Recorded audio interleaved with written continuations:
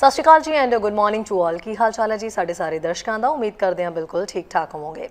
ਅੱਜ ਅਸੀਂ ਗੱਲ ਕਰਾਂਗੇ ਸਰੀ ਸਿਟੀ ਦੀ। ਕੱਲ ਅਸੀਂ ਮਾਰਨਿੰਗ ਸ਼ੋਅ ਦੇ ਵਿੱਚ ਜ਼ਿਕਰ ਕੀਤਾ ਸੀ ਇਸ ਚੀਜ਼ ਦਾ ਕਿ ਸਿਟੀ ਦੇ ਮੁਤਾਬਕ ਬਹੁਤ ਸਾਰੇ ਅਜਿਹੇ ਮੁੱਦੇ ਹੈਗੇ ਨੇ ਜਿਨ੍ਹਾਂ ਦੇ ਉੱਤੇ ਗੱਲਬਾਤ ਕਰਨੀ ਜੜੀ ਬਾਤੀ ਹੈ। ਹਾਲ ਹੀ ਦੇ ਵਿੱਚ ਇੱਕ ਚੰਗੀ ਖਬਰ ਤਾਂ ਸਾਹਮਣੇ ਇਹ ਆਈ ਹੈ ਕਿ ਸਟਰੀਟ ਜਿਹੜੀ ਹੈ, ਯਾਨੀ ਕਿ 75 ਏ ਜਿਹੜੀ ਸਟਰੀਟ ਹੈ 75 ਏ 175 ਏ ਉਹਦਾ ਜਿਹੜਾ ਨਾਮ ਹੈ ਗੁਰੂ ਨਾਨਕ ਵਿਲੇਜ ਵੇ ਦੇ ਨਾਮ ਦੇ ਉੱਤੇ ਮਨਜ਼ੂਰੀ ਮਿਲੀ ਹੈ ਉਹ ਰੱਖਿਆ ਜਾ ਰਿਹਾ ਹੈ ਪਿਕ ਸੁਸਾਇਟੀ ਨੂੰ ਅਸੀਂ ਸਾਰੇ ਜਾਣਦੇ ਹਾਂ ਪਿਕ ਸੁਸਾਇਟੀ ਇੱਕ ਨਾਨ ਪ੍ਰੋਫਿਟ ਆਰਗੇਨਾਈਜੇਸ਼ਨ ਹੈ ਇਹਨਾਂ ਦੇ ਵੱਲੋਂ ਜਿਹੜਾ ਆਪਣੇ ਸੀਨੀਅਰ ਹੋਮਸ ਦਾ ਇੱਕ ਨਾਮ ਹੈ ਜਿਹੜਾ ਰੱਖਿਆ ਜਾਣਾ ਸੀ ਇਸ ਦੇ ਉੱਤੇ ਗੁਰੂ ਨਾਨਕ ਵਿਲੇਜ ਵੇ ਦੇ ਉੱਤੇ ਤੇ ਹੁਣ ਜਦੋਂ ਕੌਂਸਲ ਦੇ ਵੱਲੋਂ ਮਨਜ਼ੂਰੀ ਮਿਲੀ ਹੈ ਤਾਂ ਇਸ ਸਟਰੀਟ ਦਾ ਨਾਮ ਹੁਣ ਗੁਰੂ ਨਾਨਕ ਵਿਲੇਜ ਵੇ ਰੱਖਿਆ ਜਾ ਰਿਹਾ ਹੈ ਇਸ ਸੰਬੰਧੀ ਗੱਲਬਾਤ ਕਰਾਂਗੇ ਤੇ ਨਾਲ ਦੀ ਨਾਲ ਹੋਰ ਡਿਵੈਲਪਮੈਂਟ ਦੇ ਮੁੱਦੇ ਬਹੁਤ ਜ਼ਿਆਦਾ ਨੇ ਸਾਰੀ ਸਿਟੀ ਦੇ ਵਿੱਚ। ਇਲੈਕਸ਼ਨ ਦਾ ਜਿਹੜਾ ਜ਼ੋਰ ਹੈ, ਉਹ ਸਿਟੀ ਦੇ ਵਿੱਚ ਬਹੁਤ ਜ਼ਿਆਦਾ ਚੱਲ ਰਿਹਾ ਹੈ। ਇਲੈਕਸ਼ਨਸ ਦੇ ਨਾਲ ਨਾਲ ਚੋਣ ਮੈਨੀਫੈਸਟੋ ਦੇ ਵਿੱਚ ਕੀ ਸ਼ਾਮਿਲ ਹੋਏਗਾ। ਕਿਹੜੇ ਮੁੱਦੇ ਜਿਹੜੇ ਨੇ ਉਹ ਚੁੱਕੇ ਜਾਣਗੇ? ਇਸ ਸੰਬੰਧੀ ਗੱਲਬਾਤ ਕਰਾਂਗੇ। ਸਿਟੀ ਦੇ ਵੱਲੋਂ ਸਾਡੇ ਨਾਲ ਗੱਲਬਾਤ ਕਰਨ ਦੇ ਲਈ ਸਿਟੀ ਕਾਉਂਸਲਰ ਮਨਦੀਪ ਨਾਗਰਾ ਜੀ ਜੁੜੇ ਹੋਏ ਨੇ ਔਰ ਮੈਂ ਆਪਣੇ ਦਰਸ਼ਕਾਂ ਨੂੰ ਕਹਾਂਗੀ, ਤੁਸੀਂ ਇਸ ਬਾਬਤ ਕੋਈ ਵੀ ਗੱਲ ਕਰਨਾ ਚਾਹੁੰਦੇ ਹੋ ਫੋਨ ਕਾਲਸ ਕਰ ਸਕਦੇ ਹੋ, ਨਾਲ ਦੀ ਨਾਲ ਤੁਹਾਡੇ ਸਵਾਲ ਵੀ ਲਵਾਂਗੇ। ਸਪੈਸ਼ਲੀ ਸਰੀ ਵਾਸੀ ਜ਼ਰੂਰ ਇਸ ਮੁੱਦੇ ਤੇ ਗੌਰ ਕਰਨ, ਕਿਉਂਕਿ ਹੁਣ ਇਲੈਕਸ਼ਨਸ ਦਾ ਸਮਾਂ ਹੈ ਤੇ ਤੁਹਾਡੇ ਆਪਣੇ ਮੁੱਦੇ ਬਹੁਤ ਸਾਰੇ ਜਿਹੜੇ ਕਿ ਪੈਂਡਿੰਗ ਪਏ ਹੋਏ ਨੇ ਤੇ ਉਹ ਮੁੱਦੇ ਜਿਹੜੇ ਤੁਸੀਂ ਚਾਹੁੰਦੇ ਹੋ, ਉਹ ਡਿਵੈਲਪਮੈਂਟ ਜਿਹੜੀ ਤੁਸੀਂ ਚਾਹੁੰਦੇ ਹੋ, ਕਿ ਇਸ ਵੇਲੇ ਸਿਟੀ ਦੇ ਵਿੱਚ ਹੋਣੀ ਚਾਹੀਦੀ ਹੈ, ਉਸ ਦੇ ਉੱਤੇ ਗੱਲ ਕਰਨੀ ਤਾਂ ਬਣਦੀ ਹੈ। ਸੋ ਜ਼ਰੂਰ ਕਾਲ ਕਰਿਓ ਨਾਲ ਦੀ ਨਾਲ ਤੁਹਾਡੀਆਂ ਕਾਲਸ ਅਸੀਂ ਅਟੈਂਡ ਕਰਾਂਗੇ। ਸੋ ਸਵਾਗਤ ਕਰਦੇ ਹਾਂ ਸਾਡੇ ਅੱਜ ਦੇ ਮਹਿਮਾਨ ਦਾ। ਮਨਦੀਪ ਨਾਗਰਾ ਜੀ ਬਹੁਤ ਬਹੁਤ ਸਵਾਗਤ ਹੈ ਦ ਮਾਰਨਿੰਗ ਸ਼ੋਅ ਦੇ ਵਿੱਚ। ਤੁਹਾਡਾ ਤੇ ਬਹੁਤ ਬਹੁਤ ਧੰਨਵਾਦ ਤੇ ਤੁਹਾਡੇ ਸਾਰੇ ਵੀਅਰਸ ਨੂੰ ਮੇਰੇ ਵੱਲੋਂ ਸਤਿ ਸ਼੍ਰੀ ਅਕਾਲ ਗੁੱਡ ਮਾਰਨਿੰਗ ਜੀ। ਮਨਦੀਪ ਜੀ ਸਭ ਤੋਂ ਪਹਿਲਾਂ ਤਾਂ ਅਸੀਂ ਬਹੁਤ ਹੀ ਵਧੀਆ ਖਬਰ ਦੇ ਨਾਲ ਸ਼ੁਰੂਆਤ ਕਰ ਰਹੇ ਹਾਂ ਇਸ ਇੰਟਰਵਿਊ ਦੀ ਜਿਹੜੀ 175 ਏ ਸਟਰੀਟ ਹੈਗੀ ਹੈ। ਗੁਰੂ ਨਾਨਕ ਵਿਲੇਜ ਵੇ ਦਾ ਨਾਮ ਦੇ ਉੱਤੇ ਹੁਣ ਰੱਖੀ ਜਾ ਰਹੀ ਹੈ। ਕੌਂਸਲ ਵੱਲੋਂ ਮਨਜ਼ੂਰੀ ਦਿੱਤੀ ਗਈ ਹੈ। ਇਹ ਬਹੁਤ ਚੰਗਾ ਉਪਰਾਲਾ ਜਿਹੜਾ ਮੰਨਿਆ ਜਾ ਰਿਹਾ ਕਿ ਇੰਨਾ ਕੋਈ ਦੇ ਵਾਸਤੇ ਜਿਹੜੀ ਹੈ ਚੱਲ ਰਹੀ ਸੀ ਰਫਤਾਰ ਤੇਜ਼ੀ ਦੇ ਨਾਲ ਕਿਵੇਂ ਚੱਲ ਰਿਹਾ ਸੀ ਕਿਵੇਂ ਇਹਨੂੰ ਸੋਲਵ ਕੀਤਾ ਗਿਆ। ਇਹ ਜਿਹੜੀ ਇੱਕ ਸਟਰੀਟ ਹੈ ਪਹਿਲੇ ਤਾਂ ਮੈਂ ਦੱਸਣਾ ਚਾਹੁੰਦਾ ਕਿ ਇਹ ਹੈ ਕਿੱਥੇ ਕਿ ਜਿਹੜਾ 64th ਐਂਡ 176 ਦਾ ਜਿਹੜਾ ਇੰਟਰਸੈਕਸ਼ਨ ਹੈਗਾ ਜਿਹੜਾ ਮੇਨ ਇੰਟਰਸੈਕਸ਼ਨ ਹੈਗਾ 176 ਐਂਡ 64th ਐਵਨਿਊ ਦਾ। ਉਹਦੇ ਨਾਰਥ ਵੈਸਟ ਸਾਈਡ ਤੇ ਇਹ ਸਟਰੀਟ ਹੈਗੀ ਜਿੱਥੇ ਪਿਕਸ ਦੀ ਜਿਹੜੀ ਸੈਕੰਡ ਬਿਲਡਿੰਗ ਬਣ ਰਹੀ ਹੈ ਸੀਨੀਅਰ ਕੇਅਰ ਅਸਿਸਟਡ ਲਿਵਿੰਗ ਵਾਸਤੇ ਜਿਹੜੀ ਬਿਲਡਿੰਗ ਬਣ ਰਹੀ ਹੈ ਪਿਕਸ ਦੀ ਜਿਹੜੀ ਪਹਿਲੇ 75 ਏ ਤੇ ਐਂਡ ਸਕਾਟ ਰੋਡ ਦੇ ਲਾਗੇ ਉਹਨਾਂ ਦੀ ਇੱਕ ਪਹਿਲੇ ਫੈਸਿਲਿਟੀ ਆਲਰੇਡੀ ਹੈਗੀ ਹੈ ਜੋ। ਬਹੁਤ ਸਾਲਾਂ ਤੋਂ ਆਪਣੇ ਸੀਨੀਅਰਸ ਦੀ ਦੇਖਭਾਲ ਕਰ ਰਹੀ ਹੈ। ਆਪਣੇ ਸੀਨੀਅਰਸ ਬਹੁਤ ਖੁਸ਼ੀ ਦੇ ਨਾਲ ਉੱਥੇ ਰਹਿ ਰਹੇ ਨੇ। ਜਦੋਂ ਵੀ ਅਸੀਂ ਜਾਂਦੇ ਆ ਅਸੀਂ ਦੇਖਦੇ ਆ ਕਿ ਸੀਨੀਅਰਸ ਐਵਰੀ ਟਾਈਮ ਕੁਛ ਨਾ ਕੁਛ ਉੱਥੇ ਹੋ ਰਿਹਾ ਹੁੰਦਾ ਪਿਕਸ ਉਹਨਾਂ ਦੇ ਅੰਦਰ ਤੇ ਉਹ ਬੜੇ ਐਕਸਾਈਟਮੈਂਟ ਬੜੀ ਹੁੰਦੀ ਹੈ ਜੋ ਕਿ ਇੱਕ ਨਾਰਮਲੀ ਜਿਹੜੇ ਆਪਾਂ ਸੀਨੀਅਰ ਹੋਮਸ ਦੇ ਵਿੱਚ ਘੱਟ ਦੇਖੀ ਜਾਂਦੀ ਹੈ ਸੋ ਇਹਨਾਂ ਦਾ ਇੱਕ ਜਿਹੜਾ ਸੈਕੰਡ ਫੈਸਿਲਿਟੀ ਬਣ ਰਹੀ ਸੀਗੀ ਉਹ ਇੱਥੇ 175 ਏ ਐਂਡ 64 ਤੇ ਬਣ ਰਹੀ ਸੀ।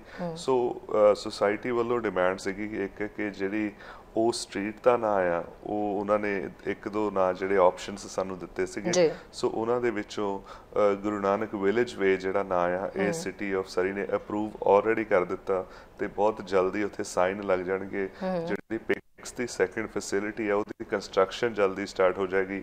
ਉਹਦਾ ਜਿਹੜਾ ਡਿਵੈਲਪਮੈਂਟ ਪਰਮਿਟਸ ਵਗੈਰਾ ਸਾਰੇ ਆਲਰੇਡੀ ਇਸ਼ੂ ਹੋ ਗਏ ਨੇ ਸਿਟੀ ਆਫ ਸਰੀ ਵੱਲੋਂ। ਸੋ ਪਿਕਸ ਦੀ ਸੈਕੰਡ ਬਿਲਡਿੰਗ ਬਣ ਰਹੀ ਹੈ। ਨਾਲ ਦੀ ਨਾਲ ਇਹ ਜਿਹੜੀ ਸਟਰੀਟ ਦਾ ਨਾਮ ਰੱਖਿਆ ਗਿਆ ਗੁਰੂ ਨਾਨਕ ਵਿਲੇਜ ਵੇ ਇਹ ਦੋ ਚੀਜ਼ਾਂ ਜਿਹੜੀਆਂ ਪਿਛਲੀ ਲਾਸਟ ਕਾਉਂਸਲ ਦੇ ਵਿੱਚ ਅਪਰੂਵ ਹੋਈਆਂ। ਸੋ ਬਹੁਤ ਚੰਗੀ ਗੱਲ ਹੈ ਕਿਉਂਕਿ ਅਸੀਂ ਆਪਣੇ ਸੀਨੀਅਰਸ ਵਾਸਤੇ ਅਸੀਂ ਇੰਨੇ ਇੰਨੇ ਉਹਨਾਂ ਲਈ ਫਿਕਰਮੰਦ ਆ ਅਸੀਂ ਉਹਨਾਂ ਲਈ ਇੰਨਾ ਕੁਝ ਕਰ ਰਹੇ ਆ ਮੈਨੂੰ ਲੱਗਦਾ ਇੱਕ ਚੰਗੀ ਪਾਸੇ ਨੂੰ ਜਿਹੜੀ ਸਾਡੀ ਕਮਿਊਨਿਟੀ ਜਾ ਰਹੀ ਹੈ। ਚੰਗੀ ਡਾਇਰੈਕਸ਼ਨ ਹੈ ਸਾਡੇ ਵਾਸਤੇ। ਜੀ। ਮਨਦੀਪ ਜੀ ਡਾਈਵਰਸਿਟੀ ਦੀ ਬਿਲਕੁਲ ਇਹ ਬਹੁਤ ਹੀ ਖੂਬਸੂਰਤੀ ਕਹਿ ਸਕਦੇ ਹਾਂ ਔਰ ਜਿਹਦੇ ਨਾਲ ਭਾਈਚਾਰੇ ਨੂੰ ਵੀ ਕਾਫੀ ਜ਼ਿਆਦਾ ਇੱਜ਼ਤ ਮਾਨ ਜਿਹੜਾ ਉਹ ਮਿਲਿਆ ਹੈ। ਕਿਵੇਂ ਇਸ ਚੀਜ਼ ਦਾ ਖਿਆਲ ਆਇਆ? ਹੁਣ ਅੱਗੇ ਕਿਵੇਂ ਜਿਹੜਾ ਉਹ ਲਗਾਇਆ ਜਾਏਗਾ? ਔਰ ਇਹ ਵੀ ਕਿਹਾ ਜਾ ਰਿਹਾ ਕਿ ਸਾਈਨ ਬੋਰਡ ਜਿਹੜੇ ਨੇ ਉਹ ਜੁਲਾਈ ਤੱਕ ਲੱਗ ਜਾਣਗੇ। ਔਰ ਕੀ ਅੰਗਰੇਜ਼ੀ ਤੇ ਪੰਜਾਬੀ ਦੋਨੋਂ ਭਾਸ਼ਾ ਦੇ ਵਿੱਚ ਸਾਈਨ ਹੋਣਗੇ? ਜੀ ਬਿਲਕੁਲ। ਇਹ ਦੋਨੋਂ ਲੈਂਗੁਏਜਸ ਦੇ ਵਿੱਚ ਸਾਈਨ ਹੋਣਗੇ। ਪੰਜਾਬੀ ਦੇ ਵਿੱਚ ਵੀ ਸਾਈਨ ਹੋਣਗੇ। ਉਹਦੇ ਨਾਲ ਮੈਂ ਇੱਕ ਦੇਖਿਆ ਕਿ ਜਦੋਂ ਆਪਣੇ ਸੀਨੀਅਰਸ ਸਪੈਸ਼ਲੀ ਜਦੋਂ ਇਦਾਂ ਸਟਰੀਟਸ ਤੇ ਰਹਿੰਦੇ ਨੇ ਪਹਿਲੇ ਵੈਨਕੂਵਰ ਮੇਨ ਸਟਰੀਟ ਤੇ ਸਾਈਨ ਲੱਗੇ ਸੀਗੇ ਉਸ ਤੋਂ ਬਾਅਦ ਆ ਸਾਰੀ ਦੇ ਇੱਕ ਦੋ ਸਟਰੀਟਸ ਹੈਗੀਆਂ ਜਿੱਥੇ ਸਾਈਨ ਲੱਗੇ ਨੇ। ਕਮਗਟਾ ਮਰੂਵੇ ਆਪਾਂ ਹੁਣੇ 2 ਸਾਲ ਪਹਿਲੇ ਉਹ ਸਟਰੀਟ ਦਾ 75 ਏ ਦਾ ਨਾਮ ਰੱਖਿਆ ਸੀ। ਉਹ ਸੀਨੀਅਰਸ ਬਹੁਤ ਖੁਸ਼ ਹੁੰਦੇ ਨੇ ਜਦੋਂ ਦੇਖਦੇ ਨੇ ਪੰਜਾਬੀ ਦੇ ਵਿੱਚ ਸਾਈਨ ਲੱਗੇ ਨੇ। ਸਪੈਸ਼ਲੀ ਹੁਣ ਜਦੋਂ ਇਹ ਸਟਰੀਟ ਦੇ ਉੱਤੇ ਸੀਨੀਅਰਸ ਨੇ ਰਹਿਣਾ ਆ ਉਹ ਦੇਖਣਗੇ ਉਹ ਬਹੁਤ ਪ੍ਰਾਊਡ ਫੀਲ ਕਰਦੇ ਨੇ ਆਪਣੇ ਆਪ ਤੇ। ਇੱਕ ਇੱਕ ਉਹ ਏਜ ਇਦਾਂ ਦੀ ਹੁੰਦੀ ਕਿਉਂਕਿ ਆਪਾਂ ਰਿਲੀਜੀਅਸ ਬਲੀਫਸ ਤੇ ਆਪਣੇ ਤੇ ਜ਼ਿਆਦਾ ਹੈਵੀ ਹੁੰਦੀ ਆਪਾਂ ਜ਼ਿਆਦਾ ਲੀਨ ਕਰਦੇ ਹੁੰਦੇ ਆ ਉਸ ਟਾਈਮ ਸਪਿਰਚੁਅਲਿਟੀ ਦੇ ਸਾਈਡ ਜ਼ਿਆਦਾ ਜਾਂਦੇ ਆ। ਐਟ ਦ ਸੇਮ ਟਾਈਮ ਜਿਹੜੀ ਸਟਰੀਟ ਸਟਰੀਟ ਤੇ ਉਹ ਰਹਿ ਰਹੇ ਨੇ ਉਹਦਾ ਨਾਮ ਜਦੋਂ ਗੁਰੂ ਨਾਨਕ ਵਿਲੇਜ ਵੇ ਮੈਨੂੰ ਲੱਗਦਾ ਉਹਨਾਂ ਦੀ ਇੱਕ ਫੀਲਿੰਗ ਜਿਹੜੀ ਆ ਉਹ ਡਿਫਰੈਂਟ ਹੋਏਗੀ ਤੇ ਬਹੁਤ ਪ੍ਰਾਊਡ ਫੀਲ ਕਰਨਗੇ ਆਪਣੇ ਆਪ ਤੇ। ਸੋ ਸੀਨੀਅਰਸ ਵਾਸਤੇ ਇਹ ਬਹੁਤ ਇੱਕ ਚੰਗੀ ਖਬਰ ਆ ਤੇ ਸਪੈਸ਼ਲੀ ਜਿਨ੍ਹਾਂ ਨੇ ਉਸ ਸਟਰੀਟ ਤੇ ਉਸ ਫੈਸਿਲਿਟੀ ਦੇ ਵਿੱਚ ਰਹਿਣਾ। ਜੀ ਕਿਉਂਕਿ ਅਸੀਂ ਦੇਖਦੇ ਹਾਂ ਕਿ ਪਹਿਲਾਂ ਵੀ ਉਹ ਰੋਡ ਕਿਉਂਕਿ ਕਾਫੀ ਜ਼ਿਆਦਾ ਜਿਹੜਾ ਇਹ ਪੂਰਾ ਏਰੀਆ ਜਿਹੜਾ ਹੈ ਇਸ ਕਰਕੇ ਪਪੂਲਰ ਹੈ ਕਿਉਂਕਿ ਕਾਮਾਘਾਟਾ ਮਾਰੂ ਦਾ ਪਹਿਲਾ ਨਾਮ ਦਿੱਤਾ ਗਿਆ। ਐਦਾਂ ਹੀ ਕਿਉਂਕਿ ਉਸ ਰੋਡ ਨੂੰ ਬਹੁਤ ਜ਼ਿਆਦਾ ਲੋਕ ਇੱਕ ਕਹਿ ਸਕਦੇ ਆ ਵੀ ਉਹ ਮੰਗ ਜਿਹੜੀ ਕਿ ਉਹਨਾਂ ਦੀ ਪੂਰੀ ਹੋਈ ਹੈ। ਹੁਣ ਸਿਟੀ ਇਲੈਕਸ਼ਨਸ ਤੋਂ ਪਹਿਲਾਂ ਕਹਿ ਸਕਦੇ ਆ ਕਿ ਇੱਕ ਖੂਬਸੂਰਤ ਇੱਕ ਹੋਰ ਤੋਹਫਾ ਜਿਹੜਾ ਉਹ ਮਿਲ ਗਿਆ। ਸੋ ਇਹ ਓਵਰਆਲ ਇਹਨੂੰ ਕਿਵੇਂ ਦੇਖਦੇ ਹੋ? ਬਹੁਤ ਸਾਰੀਆਂ ਕਾਲਸ ਤੁਹਾਨੂੰ ਵੀ ਆਈਆਂ ਹੋਣੀਆਂ ਜਦੋਂ ਮਨਜ਼ੂਰੀ ਦਿੱਤੀ। ਹਾਂਜੀ ਬਿਲਕੁਲ ਇਦਾਂ ਦੀਆਂ ਜਿਹੜੀਆਂ ਕਾਲਸ ਹੈ ਡਿਫਰੈਂਟ ਡਿਫਰੈਂਟ ਸਟਰੀਟਸ ਦੀਆਂ ਉਹਨਾਂ ਦੀਆਂ ਨੇਮਿੰਗ ਦੀਆਂ ਇਹ ਤੇ ਬਹੁਤ ਰੈਗੂਲਰ ਹੈ। ਨਾਟ ਜਸਟ ਆਪਣੀ ਪੰਜਾਬੀ ਕਮਿਊਨਿਟੀ ਚੋਂ ਬਾਕੀ ਦੀਆਂ ਕਮਿਊਨਿਟੀਜ਼ ਚੋਂ ਵੀ ਕਿ ਸਾਡੀ ਕਮਿਊਨਿਟੀ ਦੇ ਵਿੱਚ ਆ ਕਿਸੇ ਨੇ ਜੇ ਕੋਈ ਉਹਨਾਂ ਦੀ ਅਕੰਪਲਿਸ਼ਮੈਂਟਸ ਹੈਗੀਆਂ ਆ ਚਾਹੇ ਕਿਸੇ ਨੇ ਕਮਿਊਨਿਟੀ ਵਾਸਤੇ ਆਪਣਾ ਪਾਇਨੀਅਰਸ ਨੇ ਡਿਫਰੈਂਟ ਡਿਫਰੈਂਟ ਕਮਿਊਨਿਟੀਆਂ ਦੇ ਆਪਣੇ ਉਹਨਾਂ ਦੀਆਂ ਡਿਮਾਂਡਸ ਆਉਂਦੀਆਂ ਰਹਿੰਦੀਆਂ ਨੇ ਤੇ ਅਸੀਂ ਹਰ ਇੱਕ ਟਾਈਮ ਜੋ ਵੀ ਡਿਮਾਂਡ ਹੁੰਦੀ ਆ ਉਹ ਅਸੀਂ ਸਿਟੀ ਸਟਾਫ ਨੂੰ ਫਾਰਵਰਡ ਕਰਦੇ ਆ ਕਿ ਇਹਨਾਂ ਤੇ ਜ਼ਰੂਰ ਦੇਖੋ ਆਪਾਂ ਕੀ ਇਹਨਾਂ ਨੂੰ ਕਿਵੇਂ ਕਰ ਸਕਦੇ ਆ ਕਿੱਥੇ ਐਲੋਕੇਟ ਕਰ ਸਕਦੇ ਆ ਕਿਹੜੀ ਸਟਰੀਟਸ ਤੇ ਕਰ ਸਕਦੇ ਆ ਸੋ ਡਾਈਵਰਸਿਟੀ ਹੈ ਜਿੱਦਾਂ ਤੁਸੀਂ ਦੱਸਿਆ ਬਹੁਤ ਜ਼ਿਆਦਾ ਇੱਥੇ ਬੈਕਗ੍ਰਾਉਂਡਸ ਤੋਂ ਲੋਕ ਰਹਿੰਦੇ ਨੇ ਬਹੁਤ ਜ਼ਿਆਦਾ ਲੈਂਗੁਏਜਸ ਬੋਲੀਆਂ ਜਾਂਦੀਆਂ। ਇਸ ਕਰਕੇ ਡਿਮਾਂਡਸ ਚਾਹੇ ਉਹ ਸਿਟੀ ਦੀਆਂ ਸਟਰੀਟ ਦੀ ਨੇਮਿੰਗ ਦੀ ਹੋਵੇ ਚਾਹੇ ਉਹ ਆਪ ਸਿਟੀ ਹਾਲ ਦੇ ਵਿੱਚ ਫਲੈਗ ਆਪਣੇ ਲਾਉਣ ਦੀ ਹੋਵੇ ਚਾਹੇ ਹੋਰ ਡਿਫਰੈਂਟ ਡਿਫਰੈਂਟ ਤਰ੍ਹਾਂ ਦੀਆਂ ਡਿਮਾਂਡਸ ਰੈਗੂਲਰਲੀ ਆਉਂਦੀਆਂ ਰਹਿੰਦੀਆਂ ਨੇ।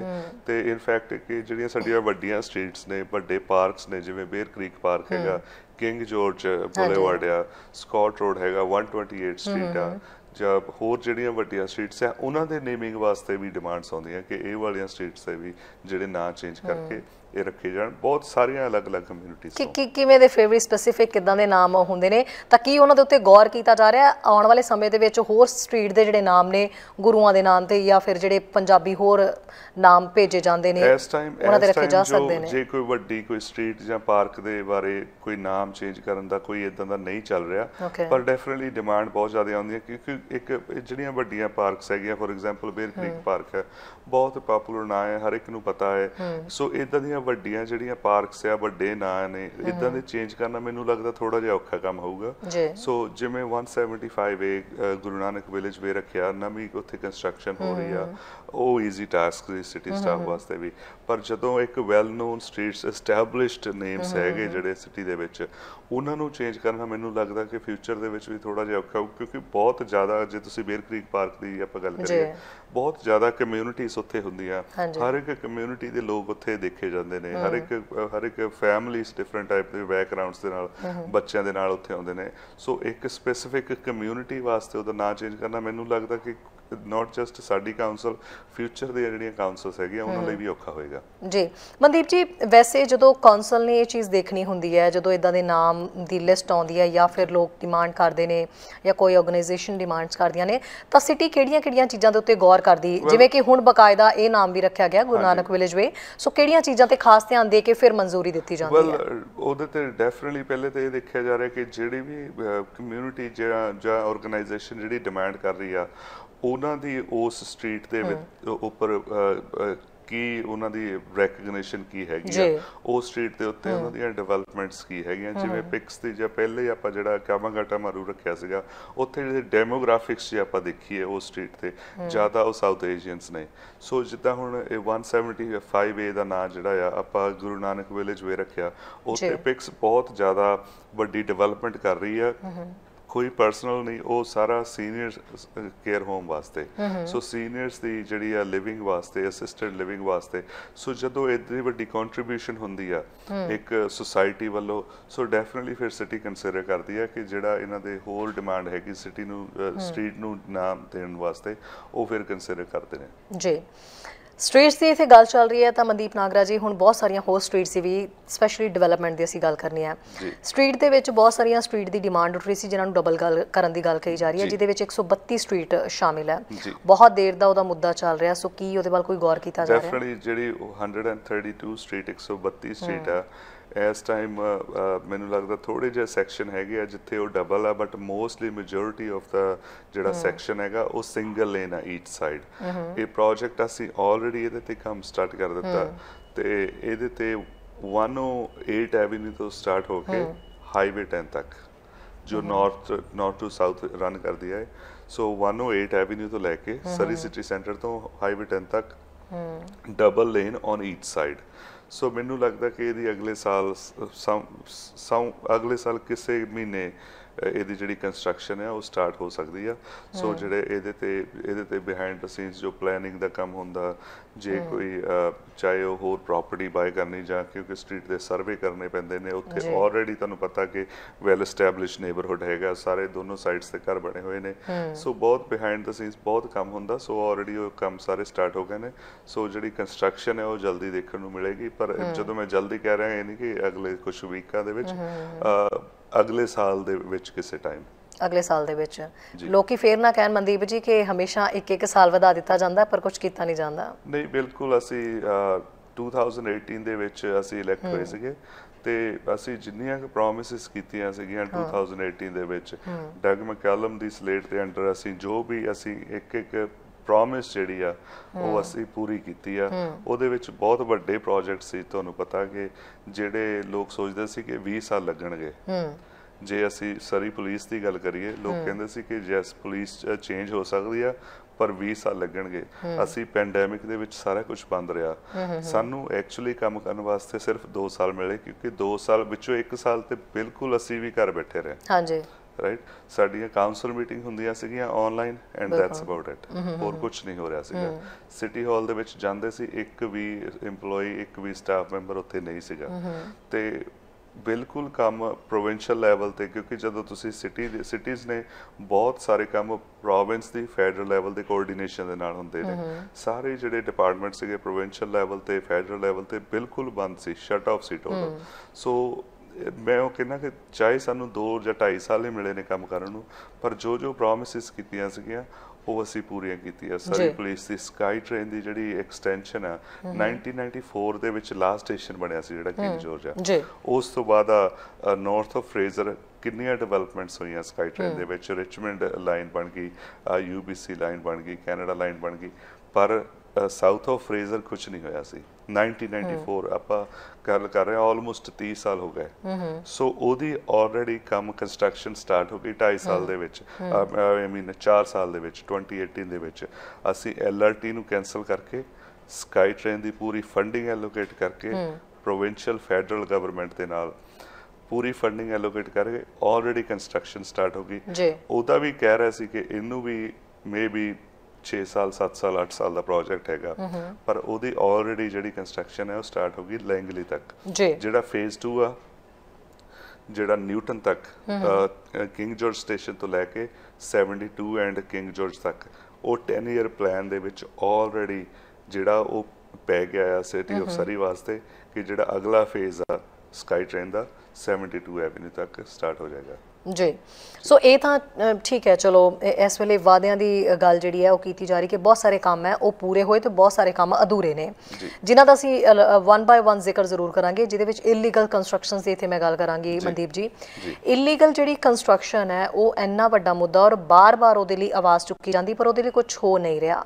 ਸਟਿਲ ਅਸੀਂ ਉਹ ਚੀਜ਼ਾਂ ਹੁੰਦੀਆਂ ਦੇਖ ਰਹੇ ਹਾਂ। ਸੋ ਉਹਦੇ ਲਈ ਕੀ ਕੋਈ ਸਖਤਾਈ ਜਾਂ ਕੋਈ ਕੋਈ ਅਜਿਹਾ ਕਾਨੂੰਨ ਕੁਝ ਲਿਆਂਦਾ ਜਾ ਰਿਹਾ ਜਿਹਦੇ ਨਾਲ ਉਹਨੂੰ ਰੋਕਿਆ ਜਾ ਸਕੇ? ਜਿਹੜੀ ਜਿਹੜੀ ਇਲੀਗਲ ਕੰਸਟਰਕਸ਼ਨ ਜਦੋਂ ਨਾ ਪੈਂਡੈਮਿਕ ਆਇਆ ਬਹੁਤ ਲੋਕਾਂ ਦੇ ਕੰਮ ਛੁੱਟ ਗਏ ਕੰਸਟਰਕਸ਼ਨ ਬੰਦ ਹੋ ਗਈ ਉਹ ਘਰਾਂ ਦੇ ਵਿੱਚ ਬੈਠ ਗਏ। ਸੋ ਬਹੁਤ ਲੋਕਾਂ ਨੇ ਸੋਚਿਆ ਕਿ ਕਿਉਂ ਨਾ ਅਸੀਂ ਥੋੜਾ ਬਹੁਤਾ ਘਰਾਂ ਦੀਆਂ ਰੈਨੋਵੇਸ਼ਨਸ ਕਰ ਲਈਏ। ਜਾਂ ਸੋਚਿਆ ਕਿਸੇ ਨੇ ਕਿ ਸਾਡੇ ਘਰ ਦੇ ਵਿੱਚ ਇੱਕ ਸਵੀਟ ਹੈਗੀ ਕੰਮ ਵੀ ਹੁਣ ਬੰਦ ਹੋ ਗਿਆ ਕਿਉਂ ਨਾ ਪਿੱਛੇ ਇੱਕ ਹੋਰ ਸਵੀਟ ਬਣਾ ਲਈ ਜਾਵੇ ਤਾਂ ਕਿ ਥੋੜੀ ਜੀ ਰੈਂਟਲ ਇਨਕਮ ਹੋਰ ਵਧ ਜਾਵੇ। ਥੋੜਾ ਜਿਹਾ ਘਰ ਐਕਸਟੈਂਡ ਕਰ ਲਿਆ ਜਾਵੇ ਕਿਉਂਕਿ ਉਸ ਤੋਂ ਪਹਿਲਾਂ ਜੋ ਸਿਟੀ ਦੇ ਨੰਬਰਸ ਹੈਗੇ ਆ ਹਿਸਟੋਰੀਕਲ ਫੈਕਟਸ ਹੈਗੇ ਕਿ ਲੋਕ ਜਦੋਂ ਇਲੀਗਲ ਕੰਸਟਰਕਸ਼ਨ ਕਰਦੇ ਸੀ ਉਹ ਥੋੜਾ ਜਿਹਾ ਸੰਡੇ ਕਵਰ ਕਰ ਲਈ ਬੇਸਮੈਂਟ ਦੇ ਵਿੱਚ ਥੋੜਾ ਜਿਹਾ ਵਾਲਸ ਨੂੰ ਇੱਧਰ ਉੱਧਰ ਕਰਕੇ ਇੱਕ ਸਵੀਟ ਬਣਾ ਲਈ ਤੇ ਜਾਂ ਸੰਡੇਕ ਜੇ ਸੈਕੰਡ ਫਲੋਰ ਤੇ ਆ ਤੇ ਥੱਲੇ ਉਹਦੇ ਉਹਨੂੰ ਵਾਲਸ ਕਰਕੇ ਉੱਥੇ ਬਣਾ ਲਈ ਚਾਹੇ ਕਾਰਪੋਰਟ ਹੈਗਾ ਫਰੰਟ ਤੇ ਉਹਨੂੰ ਕਵਰ ਕਰਕੇ ਉਹਦੇ ਤੇ ਸਵੀਟ ਬਣਾ ਲਈ ਇਦਾਂ ਦੇ ਛੋਟੇ ਛੋਟੀਆਂ ਜਿਹੜੀਆਂ ਐਡੀਸ਼ਨਸ ਹੁੰਦੀਆਂ ਸੀ। ਸੋ ਪੈਂਡੈਮਿਕ ਦੇ ਵਿੱਚ ਜਾਂ ਉਸ ਤੋਂ ਬਾਅਦ ਆ ਕੀ ਟ੍ਰੈਂਡ ਚੱਲਿਆ ਕਿ ਜਿਹੜੀਆਂ ਕੰਸਟਰਕਸ਼ਨਸ ਹੈਗੀਆਂ ਇਲੀਗਲ ਕੰਸਟਰਕਸ਼ਨ ਜਿਹੜੀਆਂ ਐਡੀਸ਼ਨ ਆ ਉਹ ਇੰਨਾ ਜ਼ਿਆਦਾ ਹੋ ਗਈਆਂ ਕਿ ਅਪ ਟੂ ਪ੍ਰਾਪਰਟੀ ਲਾਈਨ ਪਿਛਲੀ ਫੈਂਸ ਤੱਕ ਸਾਈਡ ਦਾ ਫੈਂਸ ਤੱਕ ਉੱਥੇ ਤੱਕ ਘਰ ਵਧਣ ਲੱਗ ਪਿਆ। ਆਲਮੋਸਟ ਇੱਕ ਘਰ ਦੇ ਸਾਈਜ਼ ਦਾ ਹੀ ਇੱਕ ਘਰ ਹੋਰ ਪਿੱਛੇ ਬਣਨ ਲੱਗ ਪਿਆ। ਸੋ ਉਹਦੇ ਨਾਲ ਜਿਹੜੇ ਅਸੀਂ ਪਹਿਲੇ ਤੇ ਜਿਹੜੇ ਆਪਣੇ ਬਾਇਲਾਸ ਚੇਂਜ ਕੀਤੇ ਲੋਕਾਂ ਨੂੰ ਅਵੇਅਰ ਅਵੇਅਰ ਕਰਨ ਦੀ ਬਹੁਤ ਟਰਾਈ ਕੀਤੀ ਪਰ ਬਿਲਕੁਲ ਵੀ ਸਟਾਪ ਨਹੀਂ ਹੋਈ ਜਿਹੜੀ ਇਲੀਗਲ ਕੰਸਟਰਕਸ਼ਨ ਹੈ। ਕਿਉਂਕਿ ਸਿਟੀ ਨੂੰ ਪ੍ਰੋਐਕਟਿਵ ਹੋਣਾ ਪੈਣਾ ਸੀ ਸਿਟੀ ਨੂੰ ਥੋੜਾ ਸਟ੍ਰਿਕਟ ਹੋਣਾ ਪੈਣਾ ਸੀ ਕਿਉਂਕਿ ਦੇਖੋ ਬਹੁਤ ਇਦਾਂ ਦੇ ਚੀਜ਼ਾਂ ਹੈਗੀਆਂ ਜਦੋਂ ਆਪਾਂ ਇਲੀਗਲ ਕੰਸਟਰਕਸ਼ਨ ਕਰਦੇ ਆ ਆਪਾਂ ਮਿਸ ਕਰ ਜਾਂਦੇ ਆ ਉਹਦੇ ਵਿੱਚ ਜਿਹੜੀ ਆਪਣੀ ਸੇਫਟੀ ਆਪਣੇ ਬੱਚਿਆਂ ਦੀ ਸੇਫਟੀ ਆ ਉਹਨੂੰ ਲੈ ਕੇ ਰਿਸਕ ਬਹੁਤ ਵੱਧ ਜਾਂਦੇ ਨੇ। ਸੋ ਸਿਟੀ ਨੂੰ ਪ੍ਰੋਐਕਟਿਵ ਹੋਣਾ ਪੈਣਾ। ਕੱਲ ਨੂੰ ਕੁਝ ਹੈਪਨ ਹੋ ਗਿਆ ਫਾਇਰ ਦਾ। ਇੱਕ ਬ੍ਰੈਂਪਟਨ ਦੇ ਵਿੱਚ ਮੈਂ ਕਦੀ ਵੀ ਨਹੀਂ ਚਾਹੂੰ ਇੱਥੇ ਸਰੀ ਦੇ ਵਿੱਚ ਕੁਝ ਵੀ ਇਦਾਂ ਦਾ ਹੋਵੇ ਆਈ ਪ੍ਰੇ ਟੂ ਗॉड ਪਰ ਬ੍ਰੈਂਪਟਨ ਦੇ ਵਿੱਚ ਇਦਾਂ ਦਾ ਇੱਕ ਇਨਸੀਡੈਂਟ ਹੋਇਆ ਕਿ ਜਿੱਥੇ ਕਿ ਪੂਰੀ ਫੈਮਿਲੀ ਵਿੱਚ ਹੀ ਸੜ ਗਿਆ। ਆ ਥੋੜੇ ਟਾਈਮ ਦੀ ਗੱਲ ਹੈ ਪਰ ਉਹਨਾਂ ਤੋਂ ਬਾਹਰ ਨਹੀਂ ਨਿਕਲ ਹੋਇਆ। ਰਾਈਟ ਕਿਉਂਕਿ ਪ੍ਰੋਪਰ ਫਾਇਰ ਐਗਜ਼ਿਟਸ ਨਹੀਂ ਸੀਗੇ। ਪ੍ਰੋਪਰ ਫਾਇਰ ਰੇਟਿੰਗ ਦੇ ਨਾਲ ਉਹ ਬਿਲਡਿੰਗ ਜਿਹੜੀ ਆ ਨਹੀਂ ਬਣੀ ਹੋਈ ਸੀ ਸੋ ਕੁਝ ਇਦਾਂ ਦਾ ਹੋਏ ਤੇ ਫਿਰ ਲੋਕ ਕਹਿਣਗੇ ਕਿ ਸਿਟੀ ਨੇ ਕੁਝ ਨਹੀਂ ਕੀਤਾ। ਸੋ ਸਾਨੂੰ ਪ੍ਰੋਐਕਟਿਵ ਹੋਣਾ ਪੈਣਾ। ਕੁਝ ਹੋਣ ਤੋਂ ਰੋਕਣ ਤੋਂ ਪਹਿਲੇ ਹੀ ਇਹ ਜਿਹੜੀ ਕੰਸਟਰਕਸ਼ਨਸ ਹੈ ਇਲੀਗਲ ਉਹਨਾਂ ਨੂੰ ਰੋਕੀਏ ਤਾਂ ਕਿ ਇਦਾਂ ਦਾ ਕੁਝ ਨਾ ਹੋਵੇ ਸਾਡੀ ਸਿਟੀ ਦੇ ਵਿੱਚ। ਤੇ ਇਸ ਕਰਕੇ ਅਸੀਂ ਜਿਹੜੇ ਬਾਇਲਾਸ ਆ ਉਹ ਸਟ੍ਰਿਕਟ ਕੀਤੇ ਫਾਈਨਸ ਜ਼ਿਆਦਾ ਵਧਾਏ। ਫਾਈਨਸ ਦੇ ਫਾਈਨਸ ਨੂੰ ਦੇਣ ਦੇ ਜਿਹੜੇ ਸਾਡੇ ਬਾਇਲਾ ਆਫੀਸਰਸ ਆ ਉਹਨਾਂ ਦੇ ਉਹਨਾਂ ਨੂੰ ਇਦਾਂ ਕੀਤਾ ਕਿ ਉਹ ਉਹ ਡੇਲੀ ਬੇਸਿਸ ਤੇ ਵੀ ਜੇ ਚਾਹਣ ਤੇ ਫਾਈਨਸ ਦੇ ਸਕਦੇ ਨੇ। ਸੋ ਬਹੁਤ ਜਿਹੜਾ ਜ਼ਿਆਦਾ ਕੰਟਰੋਲ ਹੋ ਗਿਆ। ਕਈ ਵਾਰ ਪਤਾ ਕਿਉਂ ਇਸ ਕਰਕੇ ਨਹੀਂ ਲੱਗਦਾ ਕਿਉਂਕਿ ਸਾਡੇ ਨੇਬਰ ਦੇ ਵਿੱਚ ਅਸੀਂ ਇਲੀਗਲ ਕੰਸਟਰਕਸ਼ਨ ਤੇ ਦੇਖ ਸਕਦੇ ਆ। ਜੀ। ਪਰ ਜਿਹੜੇ ਉਹਨਾਂ ਦੇ ਨਾਲ ਉਹ ਜਿਹੜੇ ਐਵਰੀਡੇ ਬਾਇਲੋ ਡਿਪਾਰਟਮੈਂਟ ਦੇ ਨਾਲ ਡੀਲ ਕਰ ਰਹੇ ਨੇ ਚਾਹੇ ਉਹਨਾਂ ਨੂੰ ਕੋਰਟ ਦੇ ਲੈਟਰ ਆ ਰਹੇ ਨੇ ਉਹ ਅਸੀਂ ਦੇਖ ਨਹੀਂ ਸਕਦੇ। ਓਕੇ ਇਸ ਕਰਕੇ ਸਾਨੂੰ ਲੱਗਦਾ ਕਿ ਸ਼ਾਇਦ ਕੁਝ ਵੀ ਨਹੀਂ ਹੋ ਰਿਹਾ। ਹੂੰ ਬਿਲਕੁਲ। ਪਰ ਇਸ ਟਾਈਮ ਬਹੁਤ ਜ਼ਿਆਦਾ ਸਟ੍ਰਿਕਟ ਹੈ। ਮੈਂ ਚਾਹੂੰਗਾ ਕਿ ਤੁਸੀਂ ਜਿਹੜੀਆਂ ਰੈਨੋਵੇਸ਼ਨ ਕੰਪਨੀਆਂ ਹੈਗੀਆਂ ਜਾਂ ਜਿਹੜੇ ਟ੍ਰੇਡਸ ਪੀਪਲ ਹੈਗੇ ਉਹਨਾਂ ਨੂੰ ਤੁਸੀਂ ਪੁੱਛੋ ਕਿ ਐਕਚੁਅਲੀ ਸਰੀ ਦੇ ਵਿੱਚ ਹੁਣ ਤੁਸੀਂ ਦੱਸੋ ਕਿ ਕੋਈ ਫ਼ਰਕ ਪਿਆ। ਉਹ ਤੁਹਾਨੂੰ ਦੱਸਣਗੇ ਕਿ ਮੈਨੂੰ ਬਹੁਤ ਜ਼ਿਆਦੀਆਂ ਰੈਨੋਵੇਸ਼ਨ ਕੰਪਨੀਆਂ ਹੈਗੀਆਂ ਜਿਹੜੇ ਕਹਿੰਦੇ ਕਿ ਅਸੀਂ ਵਿਦਆਊਟ ਪਰਮਿਟ ਸਰੀ ਦੇ ਹੋਰ ਕਿਤੇ ਮਿਊਨਿਸਪੈਲਿਟੀ ਮਿਊਨਿਸਪੈਲਿਟੀਜ਼ ਦੇ ਵਿੱਚ ਤੇ ਪਤਾ ਨਹੀਂ ਪਰ ਸਰੀ ਦੇ ਵਿੱਚ ਹੁਣ ਬਿਲਕੁਲ ਵੀ ਵਿਦਆਊਟ ਪਰਮਿਟ ਅਸੀਂ ਟੱਚ ਨਹੀਂ ਕਰਦੇ ਕਿ ਜਿੰਨਾ ਸਟ੍ਰਿਕਟ ਹੈ ਇਸ time Surrey city of Surrey ਹੈ ਉਹਨਾਂ ਸਟ੍ਰਿਕਟ ਹੋਰ ਕੋਈ ਮਿਊਨਿਸਪੈਲਿਟੀ ਨਹੀਂ ਹੈਗੀ। ਜੀ। ਸੋ ਡੈਫੀਨਿਟਲੀ ਨਵੇਂ ਚੇਂजेस ਨੇ ਇਹ। ਇਹਨਾਂ ਨੂੰ ਆਲਮੋਸਟ ਅਜੇ ਮੈਨੂੰ ਲੱਗਦਾ 6 ਮਹੀਨੇ ਹੋਏ ਨੇ ਜਿਹੜੇ ਇਹ ਇਹ ਸਟ੍ਰਿਕਟਨੈਸ ਹੈ ਜਿਹੜੀ ਇਹ ਲੈ ਕੇ ਆਂਦੀ ਹੈ ਬਾਈ ਲਾਅ ਦੇ ਜਿਹੜੇ ਫਾਈਨਸ ਹੈ ਵਧਾਏ ਨੇ। ਪਰ ਡੈਫੀਨਿਟਲੀ ਓਵਰ ਦਾ ਟਾਈਮ ਆਪਾਂ ਦੇਖਾਂਗੇ ਕਿ ਸਿਟੀ ਆਫ ਸਰੀ ਦੇ ਵਿੱਚ ਜਿਹੜੀ ਇਲੀਗਲ ਕੰਸਟਰਕਸ਼ਨ ਹੈ ਉਹਦੇ ਤੇ ਬਹੁਤ ਬਹੁਤ ਹੱਦ ਤੱਕ ਕੰਟਰੋਲ ਹੋ ਜਾਏਗਾ। ਮਨਦੀਪ ਜੀ ਇੰਨੀ ਵੱਡੀ ਜਦੋਂ ਕੋਈ ਚੀਜ਼ ਹੁੰਦੀ ਹੈ ਕਿਉਂਕਿ ਇਲੀਗਲ ਕੰਸਟਰਕਸ਼ਨ ਦਾ ਮੁੱਦਾ ਜਦੋਂ ਸਾਰੇ ਲੋਕਾਂ ਤੱਕ ਪਹੁੰਚਿਆ ਹੋਇਆ ਤਾਂ ਫਿਰ ਉਹਨੂੰ ਉਹਦੇ ਵਿੱਚ ਸਖਤਾਈ ਕਰਨ ਦੇ ਲਈ ਉਹਨੂੰ ਰੋਕਣ ਦੇ ਲਈ ਜਿਹੜੇ ਨਿਯਮ ਬਣਾਏ ਜਾਂਦੇ ਨੇ ਉਹ ਲੋਕਾਂ ਤੱਕ ਕਿਉਂ ਇੰਨੀ ਸਲੋ ਪਹੁੰਚ ਰਹੇ? ਲੋਕਾਂ ਨੂੰ ਇਸ ਚੀਜ਼ ਬਾਰੇ ਅਵੇਅਰ ਹੋਣਾ ਚਾਹੀਦਾ ਹੈ। ਬਿਲਕੁਲ ਅਸੀਂ ਕਿਤੇ ਕਿੱਥੇ ਘਾਟ ਤੁਹਾਨੂੰ ਲੱਗਦਾ ਵੀ ਘਾਟ ਰਹਿ ਗਈ ਵੀ ਲੋਕਾਂ ਤੱਕ ਇਹ ਗੱਲ ਨਹੀਂ ਪਹੁੰਚ ਪਾ ਰਹੀ ਵੀ ਅਸੀਂ ਬਹੁਤ ਜ਼ਿਆਦਾ ਜ਼ਿਆਦਾ ਸਫ਼ਾਈ ਕੀਤੀ ਹੋਈ ਹੈ। ਨਹੀਂ ਨਹੀਂ ਬਿਲਕੁਲ ਜਿੱਥੇ ਵੀ ਇਹ ਸਾਨੂੰ ਓਪਰਚ्युनिटी ਮਿਲ ਰਹੀ ਹੈ ਅਸੀਂ ਹਰ ਇੱਕ ਜਗ੍ਹਾ ਦੱਸਦੇ ਆਪਣੇ ਸੋਸ਼ਲ ਮੀਡੀਆਸ ਤੇ ਤੁਹਾਡੇ ਚੈਨਲਸ ਦੇ ਥਰੂ ਰੇਡੀਓਸ ਦੇ ਥਰੂ ਅਸੀਂ ਦੱਸਦੇ ਕਿ ਬਹੁਤ ਜ਼ਿਆਦਾ ਹੁਣ ਇਸ ਟਾਈਮ ਜਿਹੜੀ ਸਖਤਾਈ ਹੈਗੀ ਆ।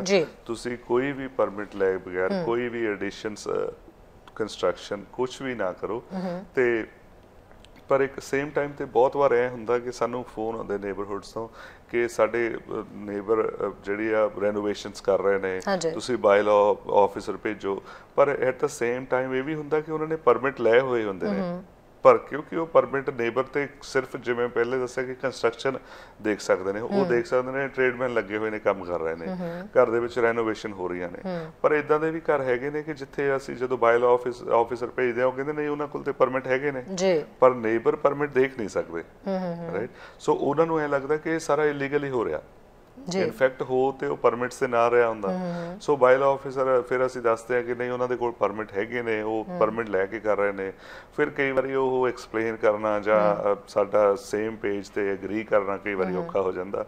ਪਰ ਜਿਹੜੇ ਇਲੀਗਲ ਹੋ ਰਹੇ ਨੇ ਅਗੇਨ ਉਹਨਾਂ ਨੂੰ ਲੈਟਰਸ ਪਾਈ ਜਾਂਦੇ ਨੇ ਉਹ ਵੀ ਨੇਬਰਸ ਕਈ ਵਾਰੀ ਉਹਨਾਂ ਨੂੰ ਵੀ ਨਹੀਂ ਪਤਾ ਲੱਗ ਰਿਹਾ ਕਿ ਯੈਸ ਸਿਟੀ ਐਕਸ਼ਨ ਲੈ ਰਹੀ ਹੈ ਉਹਨਾਂ ਨੂੰ ਫਿਰ ਵੀ ਲੱਗਦਾ ਕਿ ਸਿਟੀ ਸ਼ਾਇਦ ਕੋਈ ਐਕਸ਼ਨ ਨਹੀਂ ਲੈ ਰਹੀ। ਪਰ ਬਹੁਤ ਜ਼ਿਆਦਾ ਐਕਸ਼ਨ ਲੈ ਰਹੀ ਹੈ ਸਿਟੀ ਇਸ ਟਾਈਮ ਬਹੁਤ ਜ਼ਿਆਦਾ ਸਟ੍ਰਿਕਟ ਹੈ। ਮੈਂ ਤੁਹਾਡੇ ਵਿਊਅਰਸ ਨੂੰ ਵੀ ਇਹੀ ਰეკਮੈਂਡ ਕਰੂੰਗਾ ਕਿ ਕੋਈ ਵੀ ਐਡੀਸ਼ਨਸ ਕੋਈ ਵੀ ਕੰਸਟਰਕਸ਼ਨ ਕਰਨੀ ਹੈ ਸਿਟੀ ਦੇ ਵਿੱਚ ਪਰਮਿਟਸ ਲੈ ਬਗੈਰ ਬਿਲਕੁਲ ਨਾ ਕਰੋ। ਇਸ ਟਾਈਮ ਜਿਹੜੀ ਸਾਡੀ ਇੱਕ ਸਪੈਸ਼ਲ ਇਨਫੋਰਸਮੈਂਟ ਟੀਮ ਹੈਗੀ ਆ ਇਲੀਗਲ ਕੰਸਟਰਕਸ਼ਨ ਵਾਚ ਕਰਨ ਵਾਸਤੇ ਸਟਰੀਟਸ ਦੇ ਵਿੱਚ ਐਕਟਿਵਲੀ ਉਹ ਪੈਟਰੋਲਿੰਗ ਕਰ ਰਹੇ ਨੇ ਕਿ ਕਿਤੇ ਵੀ ਕੋਈ ਇਲੀਗਲ ਕੰਸਟਰਕਸ਼ਨ ਹੋ ਰਹੀ ਹੈ ਉਹਨੂੰ ਰੋਕ ਰਹੇ ਨੇ। ਜੀ। ਮਨਦੀਪ ਜੀ ਸਿਟੀ ਨਿਵਾਸੀਆਂ ਦੀ ਆਪਾਂ ਗੱਲ ਕਰ ਰਹੇ ਹਾਂ। ਸਿਟੀ ਦੇ ਜਿਹੜੇ ਲੋਕ ਨੇ ਸਥਾਨਕ ਵਾਸੀ ਜਿਹੜੇ ਨੇ ਉਹਨਾਂ ਦੀ ਇੱਕ ਨਾਰਾਜ਼ਗੀ ਹੈ। ਉਹ ਕਹਿੰਦੇ ਕਿ ਇਸ ਟਾਈਮ ਸਿਟੀ ਜਿਹੜੀ ਹੈ ਉਹ ਅੰਦਰਲੀ ਪੋਲਿਟਿਕਸ ਦੇ ਨਾਲ, ਇਸ ਤਰੀਕੇ ਨਾਲ ਖੱਜਲ ਹੋ ਰਹੀ ਹੈ ਜਾਂ ਜੁਝ ਰਹੀ ਹੈ, ਕਹਿ ਲੋ ਆਪਸ ਦੇ ਵਿੱਚ ਹੀ ਸਾਰੇ ਕਈ ਸਲੇਟਸ ਟੁੱਟ ਰਹੀਆਂ ਨੇ ਡਾਵਾਡੋਲ ਸਿਚੁਏਸ਼ਨ ਹੋ ਰਹੀ ਹੈ, ਜਿਹੜੀਆਂ ਪਹਿਲਾਂ ਤੋਂ ਜਿਹੜੀਆਂ ਟੀਮਾਂ ਬਣੀਆਂ ਹੋਈਆਂ ਸੀ, ਉਹ ਬਿਖਰ ਰਹੀਆਂ ਨੇ ਇੱਧਰ ਉੱਧਰ ਜਾ ਰਹੀਆਂ ਨੇ। ਸੋ ਲੋਕਾਂ ਦੇ ਸਾਹਮਣੇ ਜਿਹੜੀ ਤਸਵੀਰ ਆ ਰੱਖੀ ਹੈ ਉਹਨਾਂ ਨੂੰ ਲੱਗਦਾ ਵੀ ਆਪ ਆਪਸੀ ਜੰਗ ਜਿਹੜੀ ਹੈ ਪੋਲਿਟਿਕਸ ਦੇ ਵਿੱਚ ਹੀ ਇੰਨਾ ਕੁ ਉਲਝੇ ਪਏ ਨੇ। ਸਿਟੀ ਵਾਲੇ ਵੀ ਉਹਨਾਂ ਦਾ ਡਿਵੈਲਪਮੈਂਟ ਜਾਂ ਇਹਨਾਂ ਚੀਜ਼ਾਂ ਤੇ ਧਿਆਨ ਨਹੀਂ ਜਾਂਦਾ। ਇਹ ਨਾਰਾਜ਼ਗੀ ਬਹੁਤ ਵਾਰੀ ਸਾਨੂੰ ਜਦੋਂ ਚੈਨਲ ਦਾ ਮਾਈਕ ਵੀ ਉਹਨਾਂ ਦੇ ਕੋਲ ਜਾਂਦਾ ਅਸੀਂ ਯਕੀਨਨ ਇਹ ਨਾਰਾਜ਼ਗੀ ਹਮੇਸ਼ਾ ਲੋਕਾਂ ਦੀ ਸੁਣਦੇ ਹਾਂ। ਨਹੀਂ ਮੈਂ ਤੁਹਾਨੂੰ ਦੱਸਦਾ ਕਿ ਸਾਡੇ ਰੀਜਨ ਦੇ ਵਿੱਚ ਪੂਰੇ ਦੇ ਵਿੱਚ ਸਿਟੀ ਆਫ ਸਰੀ ਇੱਕੋ ਇੱਕ ਸਿਟੀ ਆ ਜਿਹਦੀ ਇੱਕ ਮੇਅਰ ਕੋਲ ਮੈਜੋਰਿਟੀ ਆਫ ਕਾਉਂਸਲਰਸ ਹੈਗੇ ਨੇ। ਜੀ। ਉਹ ਸਾਰੀਆਂ ਜਿਹੜੀਆਂ ਡਿਵੈਲਪਮੈਂਟਸ ਆ ਉਹ ਅਪਰੂਵ ਹੋ ਰਹੀਆਂ ਨੇ। ਜੋ ਜੋ ਇਨੀਸ਼ੀਏਟਿਵਸ ਲੈ ਸੀਗੇ ਸਾਰੇ ਅਪਰੂਵ ਹੋ ਰਹੇ ਨੇ ਕਿਉਂਕਿ ਇੱਕੋ ਇੱਕ ਸਿਟੀ ਹੈਗੀ ਪੂਰੀ ਮਿਊਨਿਸਪੈਲਿਟੀਜ਼ ਦੇ ਵਿੱਚ। ਜਿਨ੍ਹਾਂ ਦੇ ਕੋਲ ਮੈਜੋਰਿਟੀ ਆ ਕਾਉਂਸਲ ਦੇ ਵਿੱਚ। ਕੰਮ ਬਿਲਕੁਲ ਹੋ ਰਹੇ ਨੇ ਕੋਈ ਵੀ ਇਦਾਂ ਦਾ ਕੰਮ ਆ ਜਿਹੜਾ ਨਹੀਂ ਹੋ ਰਿਹਾ ਕਿਉਂਕਿ ਕਾਉਂਸਲ ਸਪਲਿਟ ਆ। ਦੋ ਉਧਰ ਸਾਈਡ ਤੇ ਬੈਠੇ ਨੇ ਦੋ ਉਧਰ ਬੈਠੇ ਨੇ ਕੁਝ ਵੀ ਆ ਰਿਹਾ ਉਹ ਅਪਰੂਵ ਨਹੀਂ ਹੋ ਰਿਹਾ। ਜਿੰਨੇ ਵੀ ਜ਼ਿਆਦਾ ਡਿਵੈਲਪਮੈਂਟ ਪ੍ਰਪੋਜ਼ਲਸ ਆ ਰਹੇ ਨੇ ਮੈਨੂੰ ਲੱਗਦਾ ਕਿ 90% ਅਪਰੂਵ ਹੋ ਰਹੇ ਨੇ ਜੀ। ਰਾਈਟ ਕਿਉਂਕਿ ਕਾਉਂਸਲ ਦੀ ਮੈਜੋਰਿਟੀ ਹੈਗੀ ਆ ਮੇਅਰ ਦੇ ਕੋਲ ਮੈਜੋਰਿਟੀ ਹੈਗੀ ਆ। ਸੋ 90% ਡਿਵੈਲਪਮੈਂਟ ਪ੍ਰਪੋਜ਼ਲਸ ਜਿਹੜੇ ਨੇ ਉਹ ਅਪਰੂਵ ਹੋ। ਰਹੇ ਨੇ। ਬਿਲਕੁਲ ਵੀ ਇਦਾਂ ਦੀ ਗੱਲ ਨਹੀਂ ਹੈਗੀ। ਜਿਹੜੇ ਸਿੰਗਲ ਫੈਮਿਲੀ ਪਰਮਿਟ ਸੀਗੇ ਉਹਨਾਂ ਦੇ ਵਿੱਚ ਡਿਲੇਸ ਹੈਗੀਆਂ ਸੀਗੀਆਂ। ਅਸੀਂ ਗਾਰੰਟੀਡ ਟਾਈਮਲਾਈਨਸ ਲੈ ਕੇ ਆਂਦੀਆਂ ਮੈਨੂੰ ਪਤਾ ਹਜੇ ਵੀ ਚੈਲੰਜਸ ਹੈਗੇ ਨੇ ਉਹ ਜਿਹੜੀਆਂ ਗਾਰੰਟੀਡ ਟਾਈਮਲਾਈਨ ਸੀਗੀਆਂ 10 ਵੀਕ ਦੇ ਵਿੱਚ ਪਰਮਿਟ ਆ ਜਾਣਾ। ਉਹਦੇ ਵਿੱਚ ਮੈਨੂੰ ਪਤਾ ਹਜੇ ਵੀ ਪਰਮਿਟਸ ਨਹੀਂ ਆ ਰਹੇ 10 ਵੀਕ ਦੇ ਵਿੱਚ ਪਰ ਅਸੀਂ ਉਹ ਟਾਈਮਲਾਈਨਸ ਲੈ ਕੇ ਆਂਦੇ ਇੱਕ ਪਾਲਿਸੀ ਬਣਾ ਲਈ ਆ। ਪਾਲਿਸੀ ਹਜੇ ਇੰਪਲੀਮੈਂਟ ਸਮਵਟ ਹੋ ਗਈ ਆ ਪੂਰੀ ਨਹੀਂ ਹੋਈ। ਓਕੇ ਰਾਈਟ ਪੂਰੀ ਨਹੀਂ ਹੋਈ ਕਿਉਂਕਿ ਪੁਰਾਣੇ ਬੈਕਲੌਗਸ ਜਾਂ ਇੱਕ ਕੰਮ ਕਰਨ ਦਾ ਤਰੀਕਾ ਹਾਂਜੀ। ਨਾਟ ਸਾਡੇ ਸਾਡੇ ਸਿਟੀ EMPLOYEES ਦਾ ਵੀ। ਐਟ ਦ ਸੇਮ ਟਾਈਮ ਜਿਹੜੇ ਕੰਸਲਟੈਂਟਸ ਆ ਚਾਹੇ ਜਿਹੜੇ ਸਿੰਗਲ ਫੈਮਿਲੀ ਬਿਲਡਰਸ ਹੈਗੇ ਆ ਉਹਨਾਂ ਦਾ ਤਰੀਕਾ ਉਹ ਥੋੜਾ ਜਿਹਾ ਡਿਫਰੈਂਟ ਹੈਗਾ ਹਜੇ ਪੁਰਾਣੇ ਤਰੀਕੇ ਦੇ ਨਾਲ ਚੱਲ। ਰਿਹਾ। ਉਹ ਜਿਹੜੀਆਂ ਚੇਂਜਸ ਆ ਇੰਪਲੀਮੈਂਟ ਕਰਨ ਨੂੰ ਮੈਨੂੰ ਲੱਗਦਾ ਥੋੜਾ ਬਹੁਤਾ ਹੋਰ ਟਾਈਮ ਲੱਗੇਗਾ। ਪਰ ਜਿਹੜੀ ਪਾਲਿਸੀ ਇਨ ਪਲੇਸ ਹੈਗੀ ਆ ਕਿ 10 ਵੀਕ ਦੇ ਵਿੱਚ ਵਿੱਚ ਸਿੰਗਲ ਫੈਮਿਲੀ ਦਾ ਪਰਮਿਟ ਮਿਲ ਜਾਣਾ ਚਾਹੀਦਾ। ਸੋ ਪਾਲਿਸੀ ਬਣ ਗਈ ਇੰਪਲੀਮੈਂਟੇਸ਼ਨ ਜਦੋਂ ਪਾਲਿਸੀ ਬਣੇਗੀ ਫਿਰ ਇੰਪਲੀਮੈਂਟੇਸ਼ਨ ਹੋਏਗੀ। ਜੀ। ਪਾਲਿਸੀਸ ਅਸੀਂ ਆਲਰੇਡੀ ਬਣਾ ਦਿੱਤੀਆਂ ਨੇ। ਇੰਪਲੀਮੈਂਟੇਸ਼ਨ ਨੂੰ ਥੋੜਾ ਟਾਈਮ ਲੱਗ ਰਿਹਾ। ਮੈਂ ਬਿਲਕੁਲ ਨਹੀਂ ਇਹ ਕਹਿ ਰਿਹਾ ਕਿ ਹਰ ਇੱਕ ਪਰਮਿਟ 10 ਵੀਕ ਦੇ ਵਿੱਚ ਆ ਰਿਹਾ। ਬਹੁਤ ਜ਼ਿਆਦਾ ਪਰਮਿਟ 10 ਵੀਕ ਦੇ ਵਿੱਚ ਆ ਰਹੇ ਨੇ ਪਰ ਕੁਝ ਪਰਮਿਟ ਹੈਗੇ ਜਿਹੜੇ ਨਹੀਂ ਵੀ ਆ ਰਹੇ 10 ਵੀਕ ਦੇ ਵਿੱਚ ਜਿਨ੍ਹਾਂ ਨੂੰ 12 ਵੀਕ ਵੀ ਲੱਗ ਰਹੇ ਨੇ। ਪਰ ਅਸੀਂ ਪਹਿਲੇ ਦਿਨ ਤੋਂ ਇੱਕੋ ਹੀ ਗੱਲ ਕਰ ਰਹੇ ਸੀਗੇ ਕਿ ਮੇਕ ਸ਼ੋਰ ਕਿ ਤੁਹਾਡੀ ਜਿਹੜੀ ਐਪਲੀਕੇਸ਼ਨ ਆ ਉਹ 100% ਕੰਪਲੀਟ ਤੇ ਐਕੂਰੇਟ ਹੋਵੇ ਕਿਉਂਕਿ ਸਿਟੀ ਦੀਆਂ ਜੋ ਗਾਈਡਲਾਈਨਸ ਹੈਗੀਆਂ ਆਲਰੇਡੀ ਵੈਬਸਾਈਟ ਤੇ ਹੈਗੀਆਂ BC ਬਿਲਡਿੰਗ ਕੋਡਸ ਜੋ ਹੈਗੇ ਉਹ ਕੰਸਲਟੈਂਟਸ ਨੂੰ ਪਤਾ ਕਿ BC ਬਿਲਡਿੰਗ ਕੋਡ ਕੀ ਆ। ਸੋ ਤੁਸੀਂ ਉਹ ਪ੍ਰੋਪਰ ਐਕੂਰੇਟ ਰਿਵਿਊ ਕਰਵਾ ਕੇ ਦੋ ਤਿੰਨ ਵਾਰ। ਜੇ ਤੁਸੀਂ ਪਲਾਨ ਉੱਥੇ ਡ੍ਰੌਪ ਕਰੋਗੇ ਚਾਂਸਸ ਹੈਗੇ ਬਹੁਤ ਜ਼ਿਆਦਾ ਚਾਂਸਸ ਹੈਗੇ। 60 to 70% ਚਾਂਸਸ ਹੈ 10 ਵੀਕ ਦੇ ਵਿੱਚ ਪਰਮਿਟ ਰਿਲੀਜ਼ ਹੋ ਜਾਏਗਾ। ਪਰ ਜੇ ਤੁਹਾਡਾ ਪਰਮਿਟ ਇਨਕੰਪਲੀਟ ਹੈ ਤੁਹਾ- ਤੁਹਾਡੇ ਵਿੱਚ ਪਰਮਿਟ ਦੇ ਵਿੱਚ ਉਹਨੂੰ BC ਬਿਲਡਿੰਗ ਕੋਡਸ ਨੂੰ ਫੋਲੋ ਨਹੀਂ ਕੀਤਾ ਜਾਂਦਾ ਫਿਰ ਡੈਫੀਨਿਟਲੀ ਡਿਲੇਸ ਤੇ ਫਿਰ ਹੋਣਗੀਆਂ। ਜੀ। ਸਿਸਟਮ ਨਵੇਂ ਦੀ ਗੱਲ ਕੀਤੀ ਜਾ ਰਹੀ ਸੀ ਕਿ ਸਿਸਟਮ ਵੀ ਨਵਾਂ ਬਣਨਾ ਚਾਹੀਦਾ ਔਰ ਨਾਲ ਦੀ ਨਾਲ ਜਿਵੇਂ ਕਿ ਹੁਣ ਤਾਂ ਸਿਟੀ ਦੀ ਸਿਆਸਤ ਜਿਹੜੀ ਆ ਉਹ ਵੀ ਬੜੀ ਨਵੀਂ ਨਵੀਂ ਹੋ ਰਹੀ ਨਵੇਂ ਨਵੇਂ ਪੋਲੀਟੀਸ਼ੀਅਨ ਜਿਹੜੇ ਨੇ ਉਹ ਵੀ ਆ ਰਹੇ ਨੇ। ਸੋ ਸਿਸਟਮ ਦੇ ਵਿੱਚ ਵੀ ਬਹੁਤ ਸਾਰੀਆਂ ਪਾਲਿਸੀਆਂ ਜਿਹੜੀਆਂ ਨਵੇਂ ਤਰੀਕੇ ਨਾਲ ਹੋਣੀਆਂ ਚਾਹੀਦੀਆਂ। ਮਨਦੀਪ ਜੀ ਮੇਰਾ ਇੱਕ ਹੋਰ ਡਿਵੈਲਪਮੈਂਟ ਤੇ ਸਵਾਲ ਹੈ ਪਰ ਇਸ ਤੋਂ ਪਹਿਲਾਂ ਆਪਾਂ ਇੱਕ ਕਾਲਰ ਦੀ ਕਾਲ ਅਟੈਂਡ ਕਰਦੇ ਹਾਂ। ਸਤਿ ਸ਼੍ਰੀ ਅਕਾਲ ਬਰਾੜ ਸਾਹਿਬ। ਹਾਂਜੀ ਸ਼ਰੀ ਸਤਿ ਸ੍ਰੀ ਅਕਾਲ ਆਪਣੇ ਤੁਹਾਡੇ ਗੈਸਟ ਨਾਇਰਾ ਸਾਹਿਬ ਨੂੰ ਵੀ ਮੇਰੇ ਵੱਲੋਂ ਪਿਆਰ ਭਰੀ ਸਤਿ ਸ੍ਰੀ ਅਕਾਲ। ਸਤਿ ਸ਼੍ਰੀ ਅਕਾਲ। ਜੀ। ਵੈਸੇ ਤੁਹਾਡਾ ਪ੍ਰੋਗਰਾਮ ਮੈਂ ਸੁਣ ਰਿਹਾ ਸੀ ਕਾਫੀ ਸਵਾਲ ਤਾਂ ਤੁਸੀਂ ਆਪ ਦੇ ਵਿੱਚ ਕਰਨ ਦੇ ਵਿੱਚ ਸਵਾਲ ਇਹਨਾਂ ਨੂੰ ਕੀਤੇ ਵੀ ਔਰ ਇਹਨਾਂ ਨੇ ਜਵਾਬ ਵੀ ਦਿੱਤੇ ਔਰ ਕਈ। ਕੰਮ ਇਹਨਾਂ ਦੀ ਸਲੇਟ ਨੇ ਕੀਤੇ ਵੀ ਆ ਉਹਦੇ ਚ ਕੋਈ ਨੋ ਡਾਊਟ ਇੱਕ ਤਾਂ ਇਹਨਾਂ ਨੂੰ ਵਧਾਈ ਦਿੰਦਾ ਕਿਉਂਕਿ ਨਿਊਟਨ ਦੇ ਵਿੱਚ ਜਿਹੜਾ ਟਰੈਕ ਬਣਿਆ। ਬਹੁਤ ਚੰਗਾ ਇਹਨਾਂ ਨੇ ਕੰਮ ਕੀਤਾ ਕਿਉਂਕਿ ਜਿਹੜਾ ਸਾਨੂੰ ਸਾਡੀ ਕੌਨਸਟੀਟਿਊਸ਼ਨ ਨੂੰ ਹਿੱਟ ਕਰਦੀ ਚੀਜ਼ ਕੋਈ ਮਿਲਦੀ ਆ ਸਾਨੂੰ ਜੀ ਉਹਦੇ 'ਚ ਸਾਨੂੰ ਐਪਰੀਸ਼ੀਏਟ ਕਰਨਾ ਚਾਹੀਦਾ ਔਰ ਇਹ ਬਹੁਤ ਵਧੀਆ ਇਹਨਾਂ ਦਾ ਉਪਰਾਲਾ ਸੀ। ਲਾਸਟ ਟਾਈਮ ਜਦੋਂ ਆਏ ਸੀ ਉਹ ਕਹਿ ਕੇ ਗਏ ਸੀ ਵੀ ਅਸੀਂ ਟਰੈਕ ਬਣਾਵਾਂਗੇ ਔਰ ਮੇਰਾ ਖਿਆਲ ਹੈ ਤਕਰੀਬਨ ਹੁਣ ਫਿਨਿਸ਼ ਹੋਣ ਵਾਲਾ ਹੀ ਆ। ਹਾਂਜੀ। ਸੋ ਇਹ ਤਾਂ ਮੈਂ ਵਧਾਈ ਦਿੰਦਾ। ਹੋਰ ਵੀ ਇਹਨਾਂ ਦੀ ਸਲੇਟ ਨੇ ਕੰਮ ਚੰਗੇ ਕੀਤੇ ਪਰ ਕਈ ਸਵਾਲ ਹੁਣ ਜਿੱਦਾਂ ਅਨਲੀਗਲ ਕੰਸਟਰਕਸ਼ਨ ਦਾ ਤੁਸੀਂ ਮੁੱਦਾ ਉਠਾਇਆ ਸੀਗਾ। ਹੂੰ। ਇਹ ਜੇ ਆਪਾਂ ਇਹਨੂੰ ਇੱਕ ਬੇਸਮੈਂਟ ਜਾਂ ਛੋਟਾ ਜਿਹਾ ਕੋਈ ਬੈੱਡਰੂਮ ਬਣਾ ਲੈਂਦਾ ਉਹ ਇੱਕ ਵੱਡਾ ਇਸ਼ੂ ਬਣਾ ਕੇ ਤੇ ਜਿਹੜੇ ਵੱਡੇ ਮਗਰਮੱਛ ਬੈਠੇ ਆ ਜੀ। ਜਿਹੜਾ ਸਰੀ ਦੇ ਵਿੱਚ ਇੱਕ ਮੈਂ ਗਰੇਜ ਨਹੀਂ ਕਰੂੰਗਾ ਇੱਕ ਡਿਵੈਲਪਮੈਂਟ ਮਾਫੀਆ ਉਹ ਸਾਰਿਆਂ ਨੂੰ ਪਤਾ ਹੀ ਹੈ ਇਹਨਾਂ ਨੂੰ ਵੀ ਪਤਾ ਰਾਈਟ ਉਹ ਹਾਵੀ ਇੰਨੇ ਹੋਏ ਹੋਏ ਆ ਕਿ ਜਿਵੇਂ ਹੁਣ ਪੰਜਾਬ ਦੀ ਸਰਕਾਰ ਆ ਉਹ ਤਿੰਨ ਮਹੀਨਿਆਂ 'ਚ ਲੋਕ ਬਹੁਤ ਕੁਝ ਮੰਗਦੇ ਉਦਾਂ ਹੀ ਸਾਡਾ ਸਿਟੀ ਆਫ ਸਰੀ ਆ। ਇਹਦੇ ਵਿੱਚ ਜੋ 25 30 ਸਾਲ ਦਾ ਪਹਿਲਾਂ ਤੋਂ ਇਹ ਕੰਮ ਹੋਣ ਲੱਗਿਆ ਦਰਖਾਤੇ ਇਹ ਸਵਾਲ ਤੁਸੀਂ ਇਹਨਾਂ ਨੂੰ ਇਹ ਵੀ ਕੀਤਾ ਸੀ ਕਿ ਪੋਲੀਟੀਕਲੀ ਤੁਸੀਂ ਅੰਦਰ ਖਾਤੇ ਬੜੀ ਥੋੜੀ ਜੰਗ ਲੱਗੀ ਹੋਈ ਆ। ਉਹ ਉਹ ਜੰਗ ਇਹਨਾਂ ਦੀ ਇਸ ਕਾਰਨ ਹੀ ਲੱਗੀ ਹੋਈ ਆ ਕਿ ਜਿਹੜੇ ਦਾਗੀ ਲੋਕ ਆ ਕਿਉਂਕਿ ਡਾਕ ਸਾਹਿਬ ਵੈਸੇ ਮੈਂ ਜਿੱਥੋਂ ਤੱਕ ਉਹਨਾਂ ਨੂੰ ਜਾਣਦਾ ਮੈਂ ਵੀ ਕਾਫੀ ਦੇਰ ਦਾ ਜਾਣਦਾ ਉਹ ਵਿਚਾਰੇ ਸਾਫ਼ ਸੁਥਰੇ ਮੇਰ ਆ ਸਿਟੀ ਦੇ ਉਹਨਾਂ ਤੋਂ ਕਈ ਗਲਤ ਕੰਮ ਕਰਵਾਏ ਵੀ ਗਏ ਪਹਿਲਾਂ ਤੇ ਉਹ ਲੋਕ ਹੁਣ ਫੇਰ ਉਹ ਚੀਜ਼ਾਂ ਮੰਗਦੇ ਆ ਪਰ ਉਹ ਹੋਣ ਨਹੀਂ ਦਿੰਦੇ। ਅਹ, ਇੱਕ ਤਾਂ ਇਹਨਾਂ ਨੂੰ ਮੈਂ ਇਹ ਸਵਾਲ ਆ ਮੇਰਾ ਕਿਉਂਕਿ ਇਹਨਾਂ ਦੀ ਸਲੇਟ ਜਿੱਤੂਗੀ ਮੇਰਾ ਖਿਆਲ ਆ 100% ਇਹ ਇਹ ਚੀਜ਼ਾਂ ਨੂੰ ਇਹ ਜਿਹੜਾ ਗਲਤ ਕੰਮ ਉੱਥੇ ਹੋ ਰਿਹਾ ਕਿਉਂਕਿ ਉਹਨੂੰ ਮੈਂ ਲੰਮਾ ਨਹੀਂ ਸਵਾਲ ਨੂੰ ਲਿਜਾਂਦਾ ਉਹਦੇ ਉੱਤੇ ਇਹਨਾਂ ਦਾ ਕੋਈ ਨਵਾਂ ਪ੍ਰੋਗਰਾਮ ਹੋਊਗਾ ਜਿੱਦਾਂ ਨੇ ਹੁਣ ਆ ਪਲੈਨਿੰਗ ਡਿਪਾਰਟਮੈਂਟ ਵਿੱਚ ਕਾਫੀ ਸੁਧਾਰ ਲਿਆਂਦਾ। ਔਰ ਹੋਰ ਵੀ ਕਈ ਡਿਪਾਰਟਮੈਂਟ ਹੈਗੇ ਆ ਜਿਨ੍ਹਾਂ ਦਾ ਕਈ ਵਾਰ ਸਾਨੂੰ ਸਿਟੀਜ਼ਨਾਂ ਨੂੰ ਪਤਾ ਨਹੀਂ ਹੁੰਦਾ। ਉਹਨਾਂ ਦੇ ਵਿੱਚ ਵੀ ਕਰੈਕਸ਼ਨਾਂ ਦੀ ਲੋੜ ਹੈ ਇਹ ਜੀਆਂ ਕਮੇਟੀਆਂ ਬਣਾ ਕੇ ਮੈਂ ਸੁਜੈਸ਼ਨ ਵੀ ਦੇਵਾਂਗਾ ਕਿ ਜ਼ਰੂਰੀ ਨਹੀਂ ਕਾਉਂਸਲਰ ਹੀ ਸਾਰੇ ਕੰਮ ਕਰੇ। ਇੱਕ ਇੱਕ ਇਹ ਜੀ ਐਸੋਸੀਏਸ਼ਨ ਬਣਾਉਣੀ ਚਾਹੀਦੀ ਇਹਨਾਂ ਨੂੰ। ਜਿਹੜੇ ਬੰਦੇ ਜਿਨ੍ਹਾਂ ਕੋਲ ਐਕਸਪੀਰੀਅੰਸ ਹੈਗਾ ਉਹ ਇੰਜੀਨੀਅਰ ਵੀ ਹੈਗੇ ਆ ਉਹ ਡਿਵੈਲਪਰ ਵੀ ਹੈਗੇ ਆ ਔਰ ਉਹ ਇੰਨੇ ਗਰੀਡੀ ਵੀ ਹੈ ਨਹੀਂਗੇ ਕਿ ਸਾਨੂੰ ਪੈਸਾ ਚਾਹੀਦਾ। ਉਹ ਆਪਣੇ ਸਿਟੀ ਨੂੰ ਵਧੀਆ ਬਣਾਉਣਾ ਮੰਗਦੇ ਆ। ਸੋ ਉਹੋ ਜੀਆਂ ਚੀਜ਼ਾਂ ਕੀ ਇਹ ਲੈ ਕੇ ਆਉਣਗੇ ਔਨ ਦਾ ਫਿਊਚਰ ਔਰ ਕਿਉਂ ਇਹਨਾਂ ਨੂੰ ਅਸੀਂ ਵੋਟ ਪਾਈਏ? ਕਿਉਂਕਿ ਸਿਸਟਮ ਦੀ ਸਿਸਟਮ ਦੀ ਲੜਾਈ ਆ। ਮੈਂ ਆਲ ਦਾ ਟਾਈਮ ਸਿਸਟਮ ਤੇ ਬੋਲਦਾ ਹੁੰਦਾ। ਕਿਉਂਕਿ ਜੇ ਸਿਸਟਮ ਹੀ ਸੁਧਰ ਗਿਆ ਤੇ ਜਿਹੜੀਆਂ ਦੂਜੀਆਂ ਚੀਜ਼ਾਂ ਉਹ ਤਾਂ ਆਪੇ ਠੀਕ ਹੋ ਜਾਣਗੀਆਂ। ਜੀ। ਸੋ ਕੀ ਇਹ ਇਹਦੇ ਵਿੱਚ ਅਵੇਅਰਨੈਸ ਲਿਆਉਣਗੇ ਕਿ ਜੋ ਜਿਹੜਾ ਉਹ ਮਾਫੀਆ ਸਟਾਫ ਇੱਥੇ ਚੱਲ ਰਿਹਾ ਉਹ- ਉਹਨੂੰ ਨੱਥ ਪਾਉਣ ਦੇ ਲਈ ਅਵੇਅਰਨੈਸ ਹੋਰ ਚਾਹੀਦੀ ਹੈ ਔਰ ਹੋਣੀ ਚਾਹੀਦੀ ਹੈ। ਮੈਂ ਇਕੱਲੇ ਪ੍ਰਾਪਰਟੀਆਂ ਦੇ ਐਡਰੈਸ ਨਹੀਂ ਦੇ ਸਕਦਾ ਕਿਉਂਕਿ ਫਿਰ ਕੰਮ ਨਹੀਂ ਹੁੰਦਾ ਉਹਨਾਂ ਤੇ। ਜਦੋਂ ਅਸੀਂ ਰੌਲਾ ਪਾਈ ਜਾਂਦੇ ਆ ਐਡਰੈਸ ਵੀ ਦੇ ਦਿੰਦੇ ਆ ਬੰਦੇ ਵੀ ਦੇ ਦਿੰਦੇ ਆ ਪਰ ਕੰਮ ਉਹਦੇ ਤੇ ਕੋਈ ਨਹੀਂ ਹੁੰਦਾ। ਸੋ ਕੰਮ ਉਹਨਾਂ ਚਿਰ ਨਹੀਂ ਹੁੰਦਾ ਜਿੰਨਾ ਚਿਰ ਤੁਸੀਂ ਸਿਸਟਮ ਜਦੋਂ ਸਿਸਟਮ ਹੀ ਇੰਨਾ ਵਧੀਆ ਬਣਾਉਣਗੇ। ਕੀ ਬਣਾਉਣਗੇ ਉਹ ਜਿਹਾ ਸਿਸਟਮ ਜਿਹਦੇ ਵਿੱਚ ਪਾਰਦਰਸ਼ੀ ਹੋਊਗੀ। ਜੇ ਇੱਕ ਬੰਦਾ ਅੱਜ ਐਪਲੀਕੇਸ਼ਨ ਕਰਦਾ ਚਾਹੇ ਉਹਦੀ ਇੱਕ ਇੱਕ ਛੋਟੀ ਜੀ ਪ੍ਰਾਪਰਟੀ ਹੈ ਤੇ ਇੱਕ ਬੰਦਾ ਵੱਡਾ ਡਿਵੈਲਪਰ ਆ ਉਹ ਬੰਦਾ ਵਿਦਨ 6 ਮੰਥ ਡਿਵੈਲਪ ਕਰਾ ਜਾਂਦਾ ਦੂਜਾ ਬੰਦਾ 20 15 15 ਸਾਲ ਤੁਰਿਆ ਫਿਰਦਾ। ਸੋ ਜੀ। ਇਹ ਪਾਰਦਰਸ਼ੀਆਂ ਨਿੱਕੀਆਂ ਨਿੱਕੀਆਂ ਚੀਜ਼ਾਂ ਦੀਆਂ। ਸੋ ਮੇਰਾ ਇਹ ਸਵਾਲ ਆ ਕਿ ਤੁਹਾਨੂੰ ਅਸੀਂ ਵੋਟ ਪਾਈਏ ਤੇ ਕਿਉਂ ਪਾਈਏ? ਔਰ ਤੁਸੀਂ ਸਿਸਟਮ ਦੇ ਵਿੱਚ ਕੋਈ ਅਵੇਅਰਨੈਸ ਲਿਆਓਗੇ ਪਾਰਦਰਸ਼ੀ ਲਿਆਓਗੇ? ਇੰਨੇ ਇੰਨੇ ਮੇਰਾ ਵਿਚਾਰ ਸੀ ਜੀ। ਥੈਂਕ ਯੂ ਤੁਹਾਡਾ ਸਮਾਂ ਦੇਣ ਦਾ ਧੰਨਵਾਦ। ਜੀ ਸ਼ੁ- ਸ਼ੁਕਰੀਆ ਜੀ ਗੱਲਬਾਤ ਕਰਨ ਦੇ ਲਈ। ਜੀ ਮਨਦੀਪ ਜੀ। ਕੀ ਕਹਿਣਾ ਚਾਹੋਗੇ ਇਸ ਸਵਾਲ ਤੇ? ਵੈਲ ਮੈਨੂੰ ਲੱਗਦਾ ਕਿ ਜਿਹੜਾ ਇਹਨਾਂ ਦਾ ਕੰਸਰਨ ਸੀਗਾ ਇੱਕ ਇਹ ਕੰਸਰਨ ਪਿਛਲੀ ਕਾਉਂਸਲ ਦੇ ਵਿੱਚ ਵੀ ਰਿਹਾ। ਤੇ ਮੈਨੂੰ ਲੱਗਦਾ ਕਿ ਫੇਰ ਇਲੈਕਸ਼ਨ ਆ ਰਹੀ ਆ ਫਿਰ ਦੁਬਾਰਾ ਇਹ ਸੁਣ ਰਹੇ ਆ।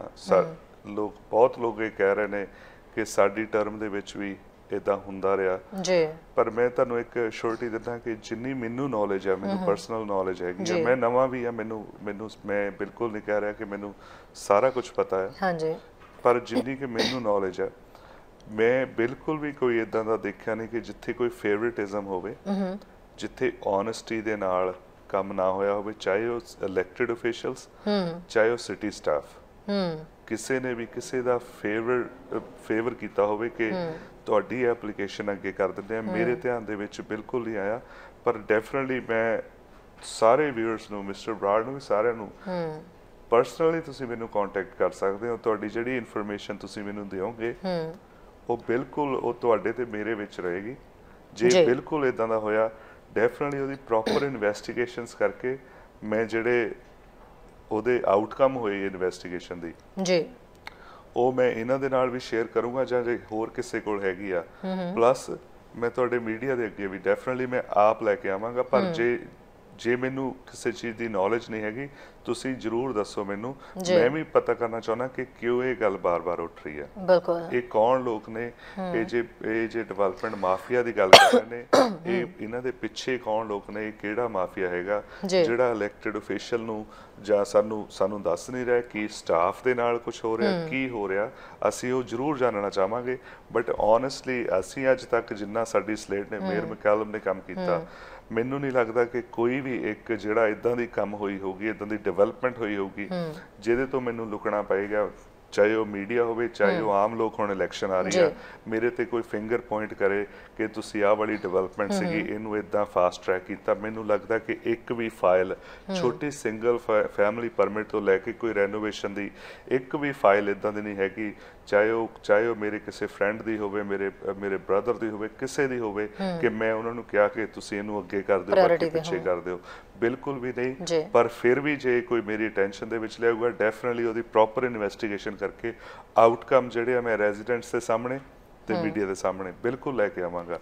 ਕਿਉਂਕਿ ਇਹ ਇਹ ਹੁਣ ਇਲੈਕਸ਼ਨ ਆ ਰਹੀ ਆ ਇਹ ਇਹ ਜਿਹੜੀਆਂ ਚੀਜ਼ਾਂ ਕਾਫੀ ਸੁਣਨ ਨੂੰ ਮਿਲ ਰਹੀਆਂ ਪਰ ਮੈਂ ਵੀ ਜਾਣਨਾ ਚਾਹੂੰਗਾ। ਬਿਲਕੁਲ ਵੀ ਮੈਂ ਅਵੇਅਰ ਨਹੀਂ ਆ ਮੈਨੂੰ ਅਸੀਂ ਜੋ ਕੰਮ ਕੀਤੇ ਬਿਲਕੁਲ ਓਨੈਸਟੀ ਦੇ ਨਾਲ ਟਰਾਂਸਪੇਰੈਂਸੀ ਦੇ ਨਾਲ ਕੰਮ ਕੀਤੇ ਰਹੇ।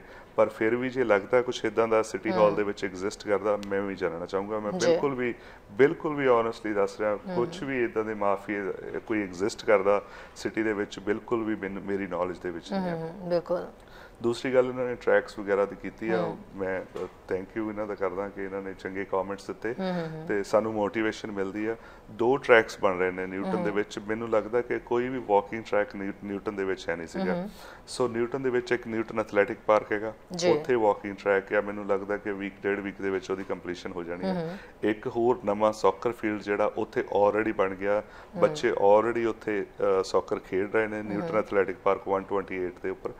ਤੇ ਜਿਹੜਾ ਦੂਜਾ ਵਾਕਿੰਗ ਟਰੈਕ ਹੈਗਾ ਉਹ ਆਪਣੇ ਸਰੀ ਗੁਰਦੁਆਰਾ ਸਾਹਿਬ ਦੇ ਬੈਕ ਸਾਈਡ ਤੇ ਜਿਹੜੀ ਫੀਲਡ ਹੈਗੀ ਆ ਉੱਥੇ ਆਲਰੇਡੀ ਸੀਨੀਅਰਸ ਵਾਸਤੇ ਵਾਕਿੰਗ ਟਰੈਕ ਬਣ ਗਿਆ।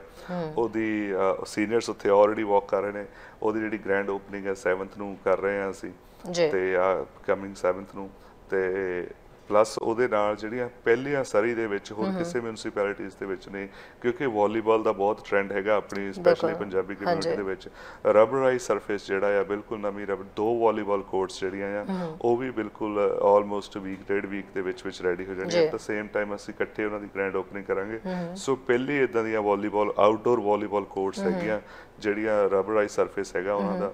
ਕਿਉਂਕਿ ਜ਼ਿਆਦਾਤਰ ਜਿਹੜੀਆਂ ਹੁਣ ਆਊਟਡੋਰ ਸਾਡੇ ਕੋਲ ਵਾਲੀਬਾਲ ਕੋਰਟਸ ਹੈਗੀਆਂ ਉਹ ਸੈਂਡ ਤੇ ਨੇ। ਪਰ ਸਾਡੀ ਕਮਿਊਨਿਟੀ ਦਾ ਜਿਹੜਾ ਇੱਕ ਟ੍ਰੈਂਡ ਹੈਗਾ ਉਹ ਸੈਂਡ ਨੂੰ ਥੋੜਾ ਅਵੋਇਡ ਕਰਦੇ ਨੇ। ਉਹਨਾਂ ਦਾ ਹੁੰਦਾ ਕਿ ਚਾਹੇ ਇਨਡੋਰ ਹੋਵੇ ਵਾਲੀਬਾਲ ਚਾਹੇ ਜੇ ਆਊਟਡੋਰ ਹੋਵੇ ਤੇ ਚਾਹੇ ਉਹ ਗ੍ਰਾਸ ਤੇ ਹੋਵੇ ਜਾਂ ਫਿਰ ਇਹ ਰਬਰਾਈਜ਼ ਸਰਫੇਸ ਜਿਹੜੀਆਂ ਪਹਿਲੀਆਂ ਕੋਰਟਸ ਹੈਗੀਆਂ। ਸੋ ਇਦਾਂ ਦੇ ਇਦਾਂ ਦੇ ਹੋਰ ਕਿੰਨੇ ਪ੍ਰੋਜੈਕਟਸ ਹੈਗੇ ਜਿਹੜੇ ਮੈਂ ਗਿਣਾ ਸਕਦਾ ਸਪੈਸ਼ਲੀ ਨਿਊਟਨ ਦੇ ਵਿੱਚ ਨਿਊਟਨ ਰੈਕ ਸੈਂਟਰ ਜਿਹੜਾ ਆ ਉਹਦੀ ਕੰਸਟਰਕਸ਼ਨ ਅਸੀਂ ਬਹੁਤ ਜਲਦੀ ਸਟਾਰਟ ਕਰਨ ਜਾ ਰਹੇ ਹਾਂ। ਲੈਂਡ ਆਲਰੇਡੀ ਹੈਗੀ ਆ 7 ਏਕੜਸ ਲੈ ਹੋਏ ਨੇ। ਉਹਦੀਆਂ ਜਿਹੜੀਆਂ ਡਰਾਇੰਗਸ ਵਗੈਰਾ ਬਣ ਰਹੀਆਂ ਨੇ। ਸੋ ਇਦਾਂ ਦੇ ਬਹੁਤ ਪ੍ਰੋਜੈਕਟਸ ਹੈਗੇ ਨੇ। Bear Creek stadium Bear Creek park walking track already ਬਣ ਗਿਆ ਹੈ।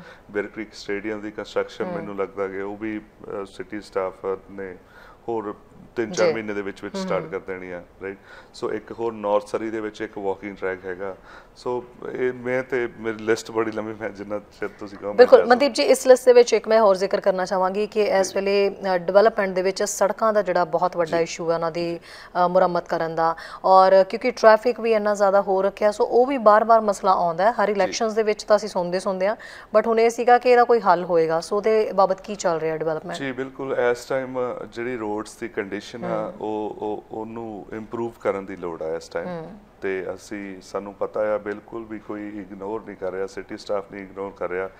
ਇਸ ਟਾਈਮ ਜੇ ਤੁਸੀਂ ਦੇਖੋ ਕਿ ਜਿਹੜੀ ਸਾਲਟਿੰਗ ਹੋਈ ਵਿੰਟਰ ਸੀਜ਼ਨ ਦੇ ਵਿੱਚ ਇੰਨੀ ਹਿਸਟੋਰਿਕ ਨੰਬਰ ਸੀਗੇ ਇੰਨੀ ਸਾਲਟਿੰਗ ਕਦੀ ਸਿਟੀ ਆਫ ਸਰੀ ਦੇ ਵਿੱਚ ਹੋਈ ਨਹੀਂ ਜਿੰਨੀ। ਇਸ ਵਿੰਟਰ ਦੇ ਵਿੱਚ ਹੋਈ ਆ। ਉਸ ਤੋਂ ਬਾਅਦ ਆ ਇਹਦੀ ਜਿਹੜੀਆਂ ਰਿਪੇਅਰਸ ਹੈਗੀਆਂ ਜਿਹੜੇ ਪੌਟ ਹੋਲਸ ਹੁੰਦੇ ਜਦੋਂ ਸਾਲਟਿੰਗ ਹੁੰਦੀ ਆ ਸਨੋ ਤੋਂ ਸਨੋ ਐਂਡ ਸਾਲਟਿੰਗ ਹੁੰਦੀ ਆ ਉਹਦੇ ਨਾਲ ਪੌਟ ਹੋਲਸ ਬਣਦੇ ਨੇ ਰੋਡਸ ਦੇ ਵਿੱਚ।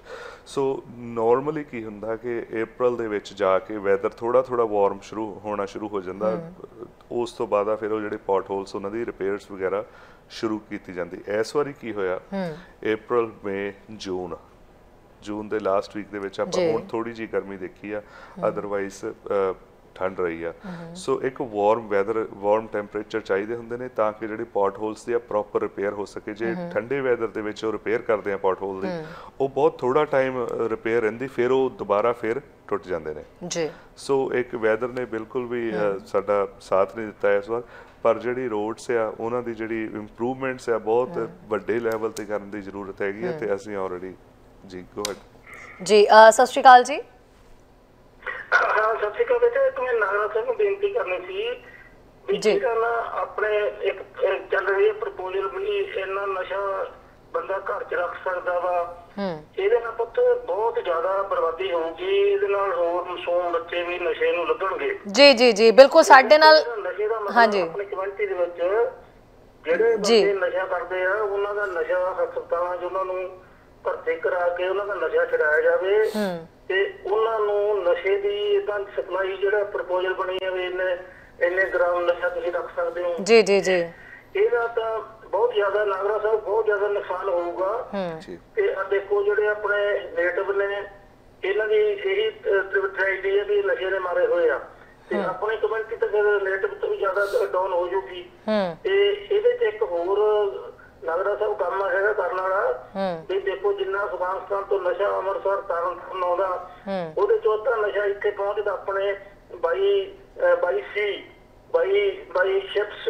ਓਕੇ ਵੀ ਰੋਕਣ ਦੀ ਕੋਸ਼ਿਸ਼ ਕਰੋ। ਜੀ ਠੀਕ ਹੈ ਜੀ। ਇਹ ਬਹੁਤ ਸਭ ਤੋਂ ਸੀਰੀਅਸ ਮਸਲਾ ਇਹ ਆ।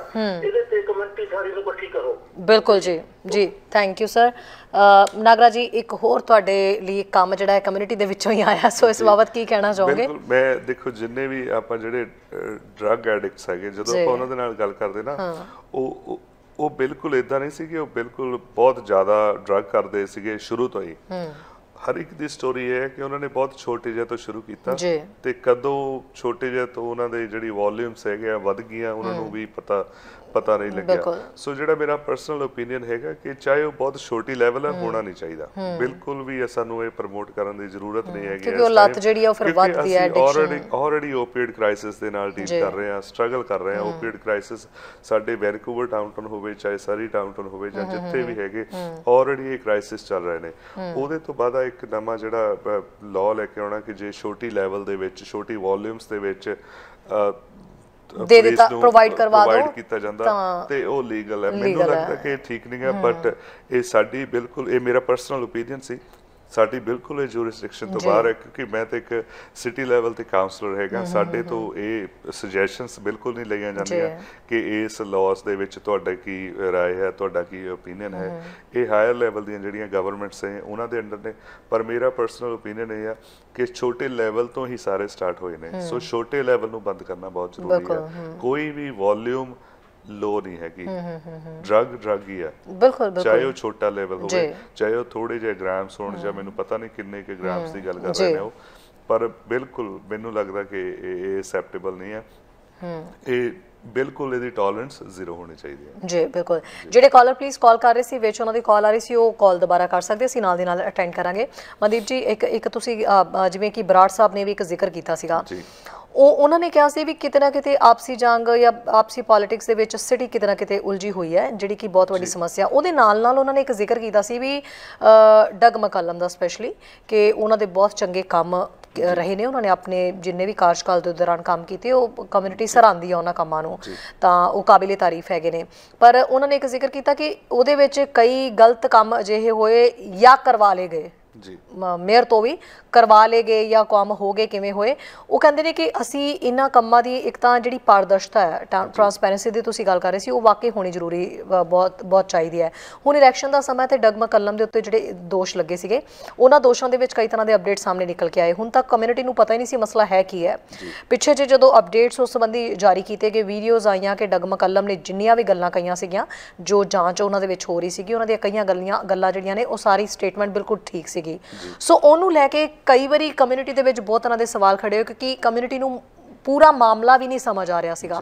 ਸੋ ਉਹਦੇ ਮੁਤਾਬਕ ਪਲੀਜ਼ ਦੱਸਣਾ ਚਾਹੂੰਗੇ ਨਵਾਂ ਅਪਡੇਟ ਆਇਆ ਤਾਂ ਹੁਣ ਉਹਦੇ ਨਾਲ ਡਗਮ ਕਲਮ ਦੀ ਜਿਹੜੀ ਇਮੇਜ ਹੈ ਉਹਨੂੰ ਕਿਵੇਂ ਦੇਖਿਆ ਜਾ ਰਿਹਾ ਹੈ? ਮੈਂ ਤੁਹਾਨੂੰ ਥੋੜਾ ਜਿਹਾ ਇਸ ਸਾਰੀ ਸਟੋਰੀ ਜੇ ਆਪਣੇ ਕੋਲ ਟਾਈਮ ਹੈ ਮੈਂ। ਤੁਹਾਨੂੰ ਸਮਝਾਉਣਾ ਕਿ ਐਕਚੁਅਲ ਕੀ ਹੋਇਆ ਸੀ ਬਿਲਕੁਲ, ਬਹੁਤ ਜ਼ਿਆਦਾ ਨਾ ਮਿਸ ਅੰਡਰਸਟੈਂਡਿੰਗ ਹੈਗੀ ਕਮਿਊਨਿਟੀ ਦੇ ਵਿੱਚ। ਸੋ ਸੇਵਨ ਮੈਂ ਆਪਣੇ ਕੋਲ ਹੈ ਟਾਈਮ ਜੀ ਬਿਲਕੁਲ ਅਸੀਂ 5-7 ਮਿੰਟ ਇਸ ਤੇ ਗੱਲ ਕਰ ਸਕਦੇ ਹਾਂ। ਸੇਵਨ ਫੂਡਸ ਬਾਹਰ ਇੱਕ ਜਿਹੜੀ ਪਹਿਲੇ ਪਟੀਸ਼ਨ ਚਲਾਈ ਜਾ ਰਹੀ ਸੀਗੀ ਕੀਪ ਦਾ ਆਰਸੀਐਮਪੀ ਗਰੁੱਪ ਵੱਲੋਂ। ਕਿ ਅਸੀਂ ਇੱਕ ਪਟੀਸ਼ਨ ਤੇ ਸਾਈਨਸ ਕਰਵਾ ਕੇ ਦੇਣੇ ਨੇ ਕਿ ਜਿਹੜੀ ਟ੍ਰਾਂਜੀਸ਼ਨ ਆ ਉਹ ਰੋਕੀ ਜਾਵੇ। ਰਾਈਟ ਇੱਕ ਰੈਫਰੈਂਡਮ ਜਿਹੜਾ ਆ ਉਹ ਉਹ ਅਸੀਂ ਬੀਸੀ ਗਵਰਨਮੈਂਟ ਨੂੰ ਭੇਜਣਾ ਕਿ ਜਿਹੜੀ ਟ੍ਰਾਂਜੀਸ਼ਨ ਆ ਸਰੀ ਪੁਲਿਸ ਦੀ ਉਹ ਰੋਕੀ ਜਾਵੇ। ਸੋ ਇੱਕ ਸੰਡੇ ਉਹ ਸੇਵਨ ਫੂਡ ਦੇ ਵਿੱਚ ਸੇਵਨ ਫੂਡ ਦੇ ਸਟੋਰ ਦੀ ਪਰਮਿਸ਼ਨ ਲਏ ਬਗੈਰ ਹਾਂਜੀ। ਉਹ ਉੱਥੇ ਪਟੀਸ਼ਨਸ ਤੇ ਜਿਹੜਾ ਸਾਈਨ ਕਰਵਾ ਰਹੇ ਸੀਗੇ। ਸੋ ਮੇਰ ਮਕਲਮ ਐਸ ਰੈਗੂਲਰ ਕਿਉਂਕਿ ਉਸ ਏਰੀਆ ਦੇ ਵਿੱਚ ਰਹਿੰਦੇ ਨੇ ਉਸ ਗਰੋਸਰੀ ਸਟੋਰ ਤੇ ਐਵਰੀ ਵੀਕਐਂਡ ਜਾਂ ਵੀਕਡੇ ਜਦੋਂ ਵੀ ਕੋਈ ਵੀ ਉਹਨਾਂ ਨੂੰ ਗਰੋਸਰੀ ਦੀ ਲੋੜ ਹੁੰਦੀ ਹੈ ਉੱਥੇ ਜਾਂਦੇ ਨੇ ਗਰੋਸਰੀ ਲੈਣ। ਉਹ ਐਸ ਨਾਰਮਲ ਆਪਣੇ ਉੱਥੇ ਗਰੋਸਰੀ ਲੈਣ ਗਏ। ਸੋ ਇੱਕ ਗਰੁੱਪ ਅਪਰੋਚ ਕਰਦਾ ਉਹਨਾਂ ਨੂੰ। ਉਹਨਾਂ ਦੇ ਨਾਲ ਬਹੁਤ ਉਹਨਾਂ ਦੀ ਹੀਟਡ ਵਰਬਲ ਐਕਸਚੇਂਜ ਹੁੰਦੀ ਨੇ। ਤੇ ਕਨਵਰਸੇਸ਼ਨ ਹੀਟਡ ਕਨਵਰਸੇਸ਼ਨ ਹੁੰਦੀ ਉਹ ਜਾਂਦੇ ਨੇ ਗਰੋਸਰੀ ਕਰਦੇ ਨੇ। ਗਰੋਸਰੀ ਕਰਦੇ ਵੀ ਉਹਨਾਂ ਨੂੰ ਫੋਲੋ ਕੀਤਾ ਜਾਂਦਾ। ਉਸ ਤੋਂ ਬਾਅਦ ਉਹ ਬਾਹਰ ਆਉਂਦੇ ਨੇ। ਉਹਨਾਂ ਦੀ ਫਿਰ ਇੱਕ ਆਰਗੂਮੈਂਟ ਹੁੰਦੀ ਨੇ ਉਹ ਜਿਹੜੇ ਦੂਸਰੇ ਸਿਟੀਜ਼ਨ ਸੀਗੇ ਉਹ ਕਾਰ ਦੇ ਵਿੱਚ ਬੈਠੇ ਹੁੰਦੇ ਨੇ ਤੇ ਉਹਨਾਂ ਦਾ ਜਿਹੜਾ ਜਦੋਂ ਕਾਰ ਭਜਾ ਕੇ ਲੈ ਕੇ ਜਾਂਦੇ ਨੇ ਗਏ ਕੋਲੋਂ, ਹਾਂ। ਮਿਕੈਲਮ ਦੇ ਜਿਹੜੇ ਪੈਰ ਦੇ ਪੈਰ ਉੱਪਰ। ਦੀ। ਉਸ ਤੋਂ ਬਾਅਦ ਆ ਉਹ ਉਹ ਜਿਹੜਾ ਹਸਪੀਟਲ ਜਾਂਦੇ ਨੇ ਉਸ ਤੋਂ ਬਾਅਦ ਆ ਜੋ ਆਪਾਂ ਰਿਪੋਰਟਸ ਦੇਖੀਆਂ ਮੇਰੇ ਮਕਲਮ ਨੇ ਦੱਸਿਆ ਵੀ ਕਿ ਮੇਰਾ ਇਹਨਾਂ ਨੇ ਜਿਹੜਾ ਟਾਇਰ ਆ ਮੇਰੇ ਪੈਰ ਦੇ ਉੱਪਰ ਦੀ ਨਿਕਲਿਆ। ਪਰ ਉਹਨਾਂ ਤੇ ਫਿਰ ਵੀ ਇਹ ਚਾਰजेस ਲਾਏ ਜਾਂਦੇ ਨੇ ਕਿ ਇਹਨਾਂ ਨੇ ਪਬਲਿਕ ਦੇ ਵਿੱਚ ਝੂਠ ਬੋਲਿਆ। ਹਾਂਜੀ। ਠੀਕ ਹੈ ਜੀ? ਉਸ ਤੋਂ ਬਾਅਦ ਆ ਸਾਰਾ ਉਹ ਵੀਡੀਓ ਉਹ ਸਾਰਾ ਕੁਝ ਕੋਰਟ ਨੂੰ ਦਿੱਤਾ ਜਾਂਦਾ। ਜੋ ਐਵੀਡੈਂਸ ਦੀ ਰਿਪੋਰਟ ਹੈ ਉਹਦੇ ਵਿੱਚ ਕਲੀਅਰਲੀ ਲਿਖਿਆ ਕਿ ਇੱਕ ਜਿਹੜੀ ਸ਼ਰਾਬ ਆ ਉਹ ਕੈਮਰੇ ਨੂੰ ਬਲੌਕ ਕਰ ਰਹੀ ਸੀ ਹਾਂਜੀ। ਇੱਕ ਇੱਕ ਇੱਕ ਜਿੱਦਾਂ ਆਪਾਂ ਕਹਿ ਸਕਦੇ ਝਾੜੀ ਸੀ। ਝਾੜੀਆਂ ਸੀਗੀਆਂ ਜਿਹੜੀਆਂ ਉਹ- ਹਾਂਜੀ ਉਹ ਬਿਲਕੁਲ। ਕੈਮਰੇ ਦੇ ਜਿਹੜਾ ਵਿਜ਼ਨ ਸੀ ਉਹਨੂੰ ਬਲੌਕ ਕਰ ਰਹੀਆਂ ਸੀ। ਪਰ ਉਹਦੇ ਚ ਦੇਖ ਸਕਦੇ ਕਿ ਜਦੋਂ ਕਾਰ ਕੋਲ ਦੀ ਲੰਘਦੀ ਆ ਮੇਅਰ ਮਕਲਮ ਦੀ ਬਾਡੀ ਬਹੁਤ ਮੂਵ ਹੁੰਦੀ ਹੈ ਮੂਵ ਹੁੰਦੀ ਹੈ ਤੇ ਬਿਲਕੁਲ। ਉਹਦੇ ਵਿੱਚ ਉਹਨਾਂ ਨੇ ਉਹਨਾਂ ਨੇ ਇਦਾਂ ਰਿਐਕਟ ਕੀਤਾ ਕਿ ਚਾਹੇ ਉਹਨਾਂ ਨੂੰ ਕੁਝ ਕੋਈ ਝਟਕਾ ਮਹਿਸੂਸ ਹੋਇਆ ਕੋਈ ਝਟਕਾ ਲੱਗਿਆ ਪਰ ਪੈਰ ਤੇ। ਕਲੀਅਰ ਨਹੀਂ ਸੀਗਾ ਇਹ ਐਵੀਡੈਂਸ ਦੀ ਰਿਪੋਰਟ ਹੈ ਉਸ ਤੋਂ ਬਾਅਦ ਆ ਡਾਕਟਰ ਦੀ ਇੱਕ ਸਟੇਟਮੈਂਟ ਹੈਗੀ ਆ ਵਾਈਟ ਰੌਕ ਹਸਪੀਟਲ ਦੀ ਕਿ ਇਹਨਾਂ ਦੇ ਪੈਰ ਡੈਮੇਜਸ ਹੋਏ ਇਹਨਾਂ ਦੇ ਪੈਰ ਤੇ ਡੈਮੇਜ ਹੋਇਆ ਸੀ। ਕੋਈ ਹੱਡੀ ਨਹੀਂ ਟੁੱਟੀ ਸੀਗੀ ਪਰ ਡੈਮੇਜ ਹੋਇਆ ਰਾਈਟ ਸੌਫਟ ਟਿਸ਼ੂ ਡੈਮੇਜ ਹੋਇਆ ਸੀ. ਡਾਕਟਰ ਦੀ ਰਿਪੋਰਟ ਹੈਗੀ ਆ ਪੀ ਸਰਚ ਹਸਪੀਟਲ ਦੇ ਡਾਕਟਰ ਦੀ ਰਿਪੋਰਟ। ਹੈਗੀ ਆ। ਸੋ ਫੇਰ ਵੀ ਇਹਨਾਂ ਐਵੀਡੈਂਸ ਹੋਣ ਦੇ ਬਾਵਜੂਦ ਵੀ ਉਹਨਾਂ ਤੇ ਚਾਰजेस ਲਗਾਏ ਜਾਂਦੇ ਨੇ ਕਿ ਇਹਨਾਂ ਨੇ ਝੂਠ ਬੋਲਿਆ।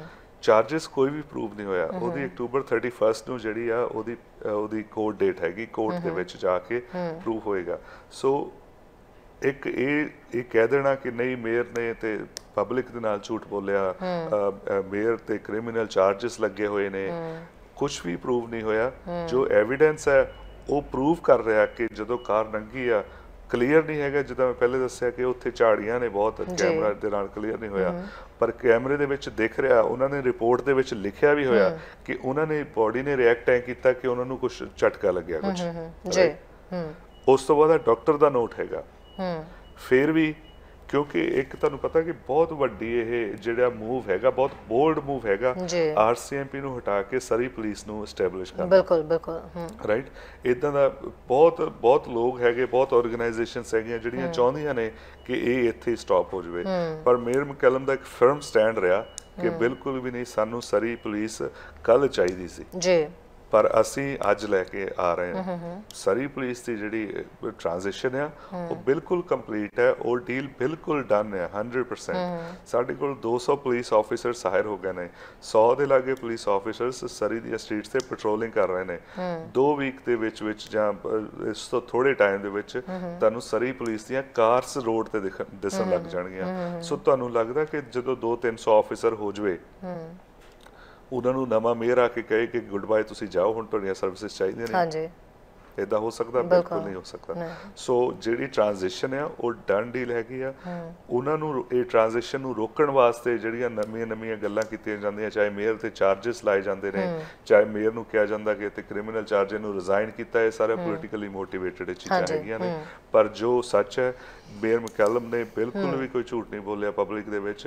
ਤੇ ਬਾਕੀ ਕੋਰਟ ਡੇਟ ਹੈਗੀ ਅਕਤੂਬਰ 31 ਨੂੰ ਉਹ ਸਾਰਾ ਕੁਝ ਪਤਾ ਲੱਗ। ਜਾਏਗਾ। ਜਿਹੜੀ ਐਵੀਡੈਂਸ ਰਿਪੋਰਟ ਹੈ ਆਲਰੇਡੀ ਪਬਲਿਕ ਹੋ ਗਈ ਹੈ? ਬਿਲਕੁਲ। ਤੁਸੀਂ ਵੀ ਦੇਖਿਆ ਤੁਸੀਂ ਵੀ ਰਿਪੋਰਟ ਕੀਤਾ ਬਿਲਕੁਲ ਅਸੀਂ report ਕੀਤੀ? ਇਸ ਤੇ, ਹਾਂਜੀ। CBC ਤੇ ਸਾਰਾ ਆਨਲਾਈਨ ਸਾਰਾ ਕੁਝ ਉਹ ਰਿਪੋਰਟ ਹੈਗੀ ਆ ਉਹਦੇ ਵਿੱਚ ਕਲੀਅਰਲੀ ਇਹ ਚੀਜ਼ਾਂ ਜਿਹੜੀਆਂ ਮੈਂ ਦੱਸ ਰਿਹਾ ਇਹ ਮੈਂ ਮੇਰੀ ਕੋਈ ਬਣਾਈ ਹੋਈ ਸਟੋਰੀ ਨਹੀਂ ਹੈ। ਇਹ ਪਬਲਿਕ ਉਹ ਰਿਪੋਰਟ ਵਾਕਿਆ ਸੀ ਉਹ ਰਿਪੋਰਟ ਖੁਦ ਵੀ ਪੜ੍ਹੀ ਸੀ ਕਿ ਸਾਰੀ ਉਹ ਕਲੀਅਰ ਸੀਗੀ ਕਿ ਡਗ ਮੈਕਲਮ ਦੀ ਜਿਹੜੀ ਸਟੇਟਮੈਂਟ ਹੈ ਓਵਰਆਲ ਬਿਲਕੁਲ ਠੀਕ ਹੈਗੀ ਅ, ਮਨਦੀਪ ਨਾਗਰਾ ਜੀ ਆਖੀਰ ਦੇ ਵਿੱਚ ਬਹੁਤ ਘੱਟ ਸ਼ਬਦਾਂ ਦੇ ਵਿੱਚ ਚੋਣ ਮੈਨੀਫੈਸਟੋ ਜਿਹਦਾ ਇੰਤਜ਼ਾਰ ਕੀਤਾ ਜਾ ਰਿਹਾ। ਸਿਟੀ ਦਾ ਜਿਹੜਾ ਚੋਣ ਮੈਨੀਫੈਸਟੋ ਹੈ ਕੀ ਲਿਆ ਰਹੇ ਹੋ? ਕਿਹੜੇ ਮੁੱਦਿਆਂ ਦੇ ਉੱਤੇ ਮੇਨ ਜਿਹੜਾ ਤੁਸੀਂ ਫੋਕਸ ਕਰੋਗੇ ਤੇ ਕਦੋਂ ਜਾਰੀ ਕਰ ਰਹੇ ਹੋ ਇਹ ਜੀ ਮੈਨੀਫੈਸਟੋ ਬਿਲਕੁਲ ਮੈਂ ਇੱਕ ਪਰ ਸਟਰੋਂਗਲੀ ਬਲੀਵ ਕਰਦਾ ਕਿ ਮੈਨੀਫੈਸਟੋ ਉਦੋਂ ਬਣਨਾ ਚਾਹੀਦਾ ਕਿ ਜਿਹੜਾ ਆਪਣਾ ਪਿਛਲਾ ਸੀਗਾ ਉਹ ਸਾਰੀਆਂ ਪ੍ਰੋਮਿਸਸ ਕੰਪਲੀਟ ਹੋ ਗਈਆਂ। Exactly. ਠੀਕ ਹੈ ਜੀ ਫਿਰ ਨਵਾਂ ਬਣਾਓ। ਅਦਰਵਾਈਜ਼ ਪਿਛਲੇ ਨੂੰ ਹੀ ਦੁਬਾਰਾ ਲਿਆ ਕੇ ਫਿਰ ਮੋਰੇ ਰੱਖ ਲਓ। ਸੋ ਮੈਂ ਪ੍ਰਾਊਡਲੀ ਕਹਿ ਸਕਦਾ ਕਿ ਪਿਛਲੇ ਦੇ ਵਿੱਚ ਜੋ ਪ੍ਰੋਮਿਸਸ ਸੀਗੀਆਂ ਸਾਰੀਆਂ ਕੰਪਲੀਟ ਹੋ ਗਈਆਂ ਵਨ. ਬਾਈ ਵਨ ਅਸੀਂ ਟਿਕ ਮਾਰਕ ਲਗਾਏ ਨੇ। ਚਾਹੇ ਉਹ ਪ੍ਰੋਜੈਕਟ ਅਸੀਂ ਕਈ ਮੈਂਸ਼ਨ ਵੀ ਨਹੀਂ ਕੀਤੇ Newton rack centre 84th avenue ਇਦਾਂ ਦੀਆਂ ਚੀਜ਼ਾਂ ਹੋਰ ਬਹੁਤ ਨੇ ਜਿਹੜੀਆਂ ਕਦੀ ਮੈਂਸ਼ਨ ਨਹੀਂ ਕੀਤੀਆਂ। ਉਹ ਵੀ ਹੋ ਗਈਆਂ ਨੇ ਰਾਈਟ ਹੁਣ ਅਸੀਂ ਨਵੀਂ ਲਿਸਟ ਬਣਾ ਰਹੇ ਹਾਂ। ਹਜੇ ਮੈਨੂੰ ਲੱਗਦਾ ਥੋੜਾ ਜਿਹਾ ਅਰਲੀ ਆ। ਹਜੇ ਮੈਂ ਪ੍ਰੋਪਰ ਰਿਲੀਜ਼ ਨਹੀਂ ਕਰ ਸਕਦਾ ਪਰ ਮੈਂ ਇੱਕ ਇੱਕ ਤੁਹਾਡੀ ਲਿਸਟ ਦੇ ਵਿੱਚ ਇੱਕ ਜਿਹੜੀ ਆਈਟਮ ਆ।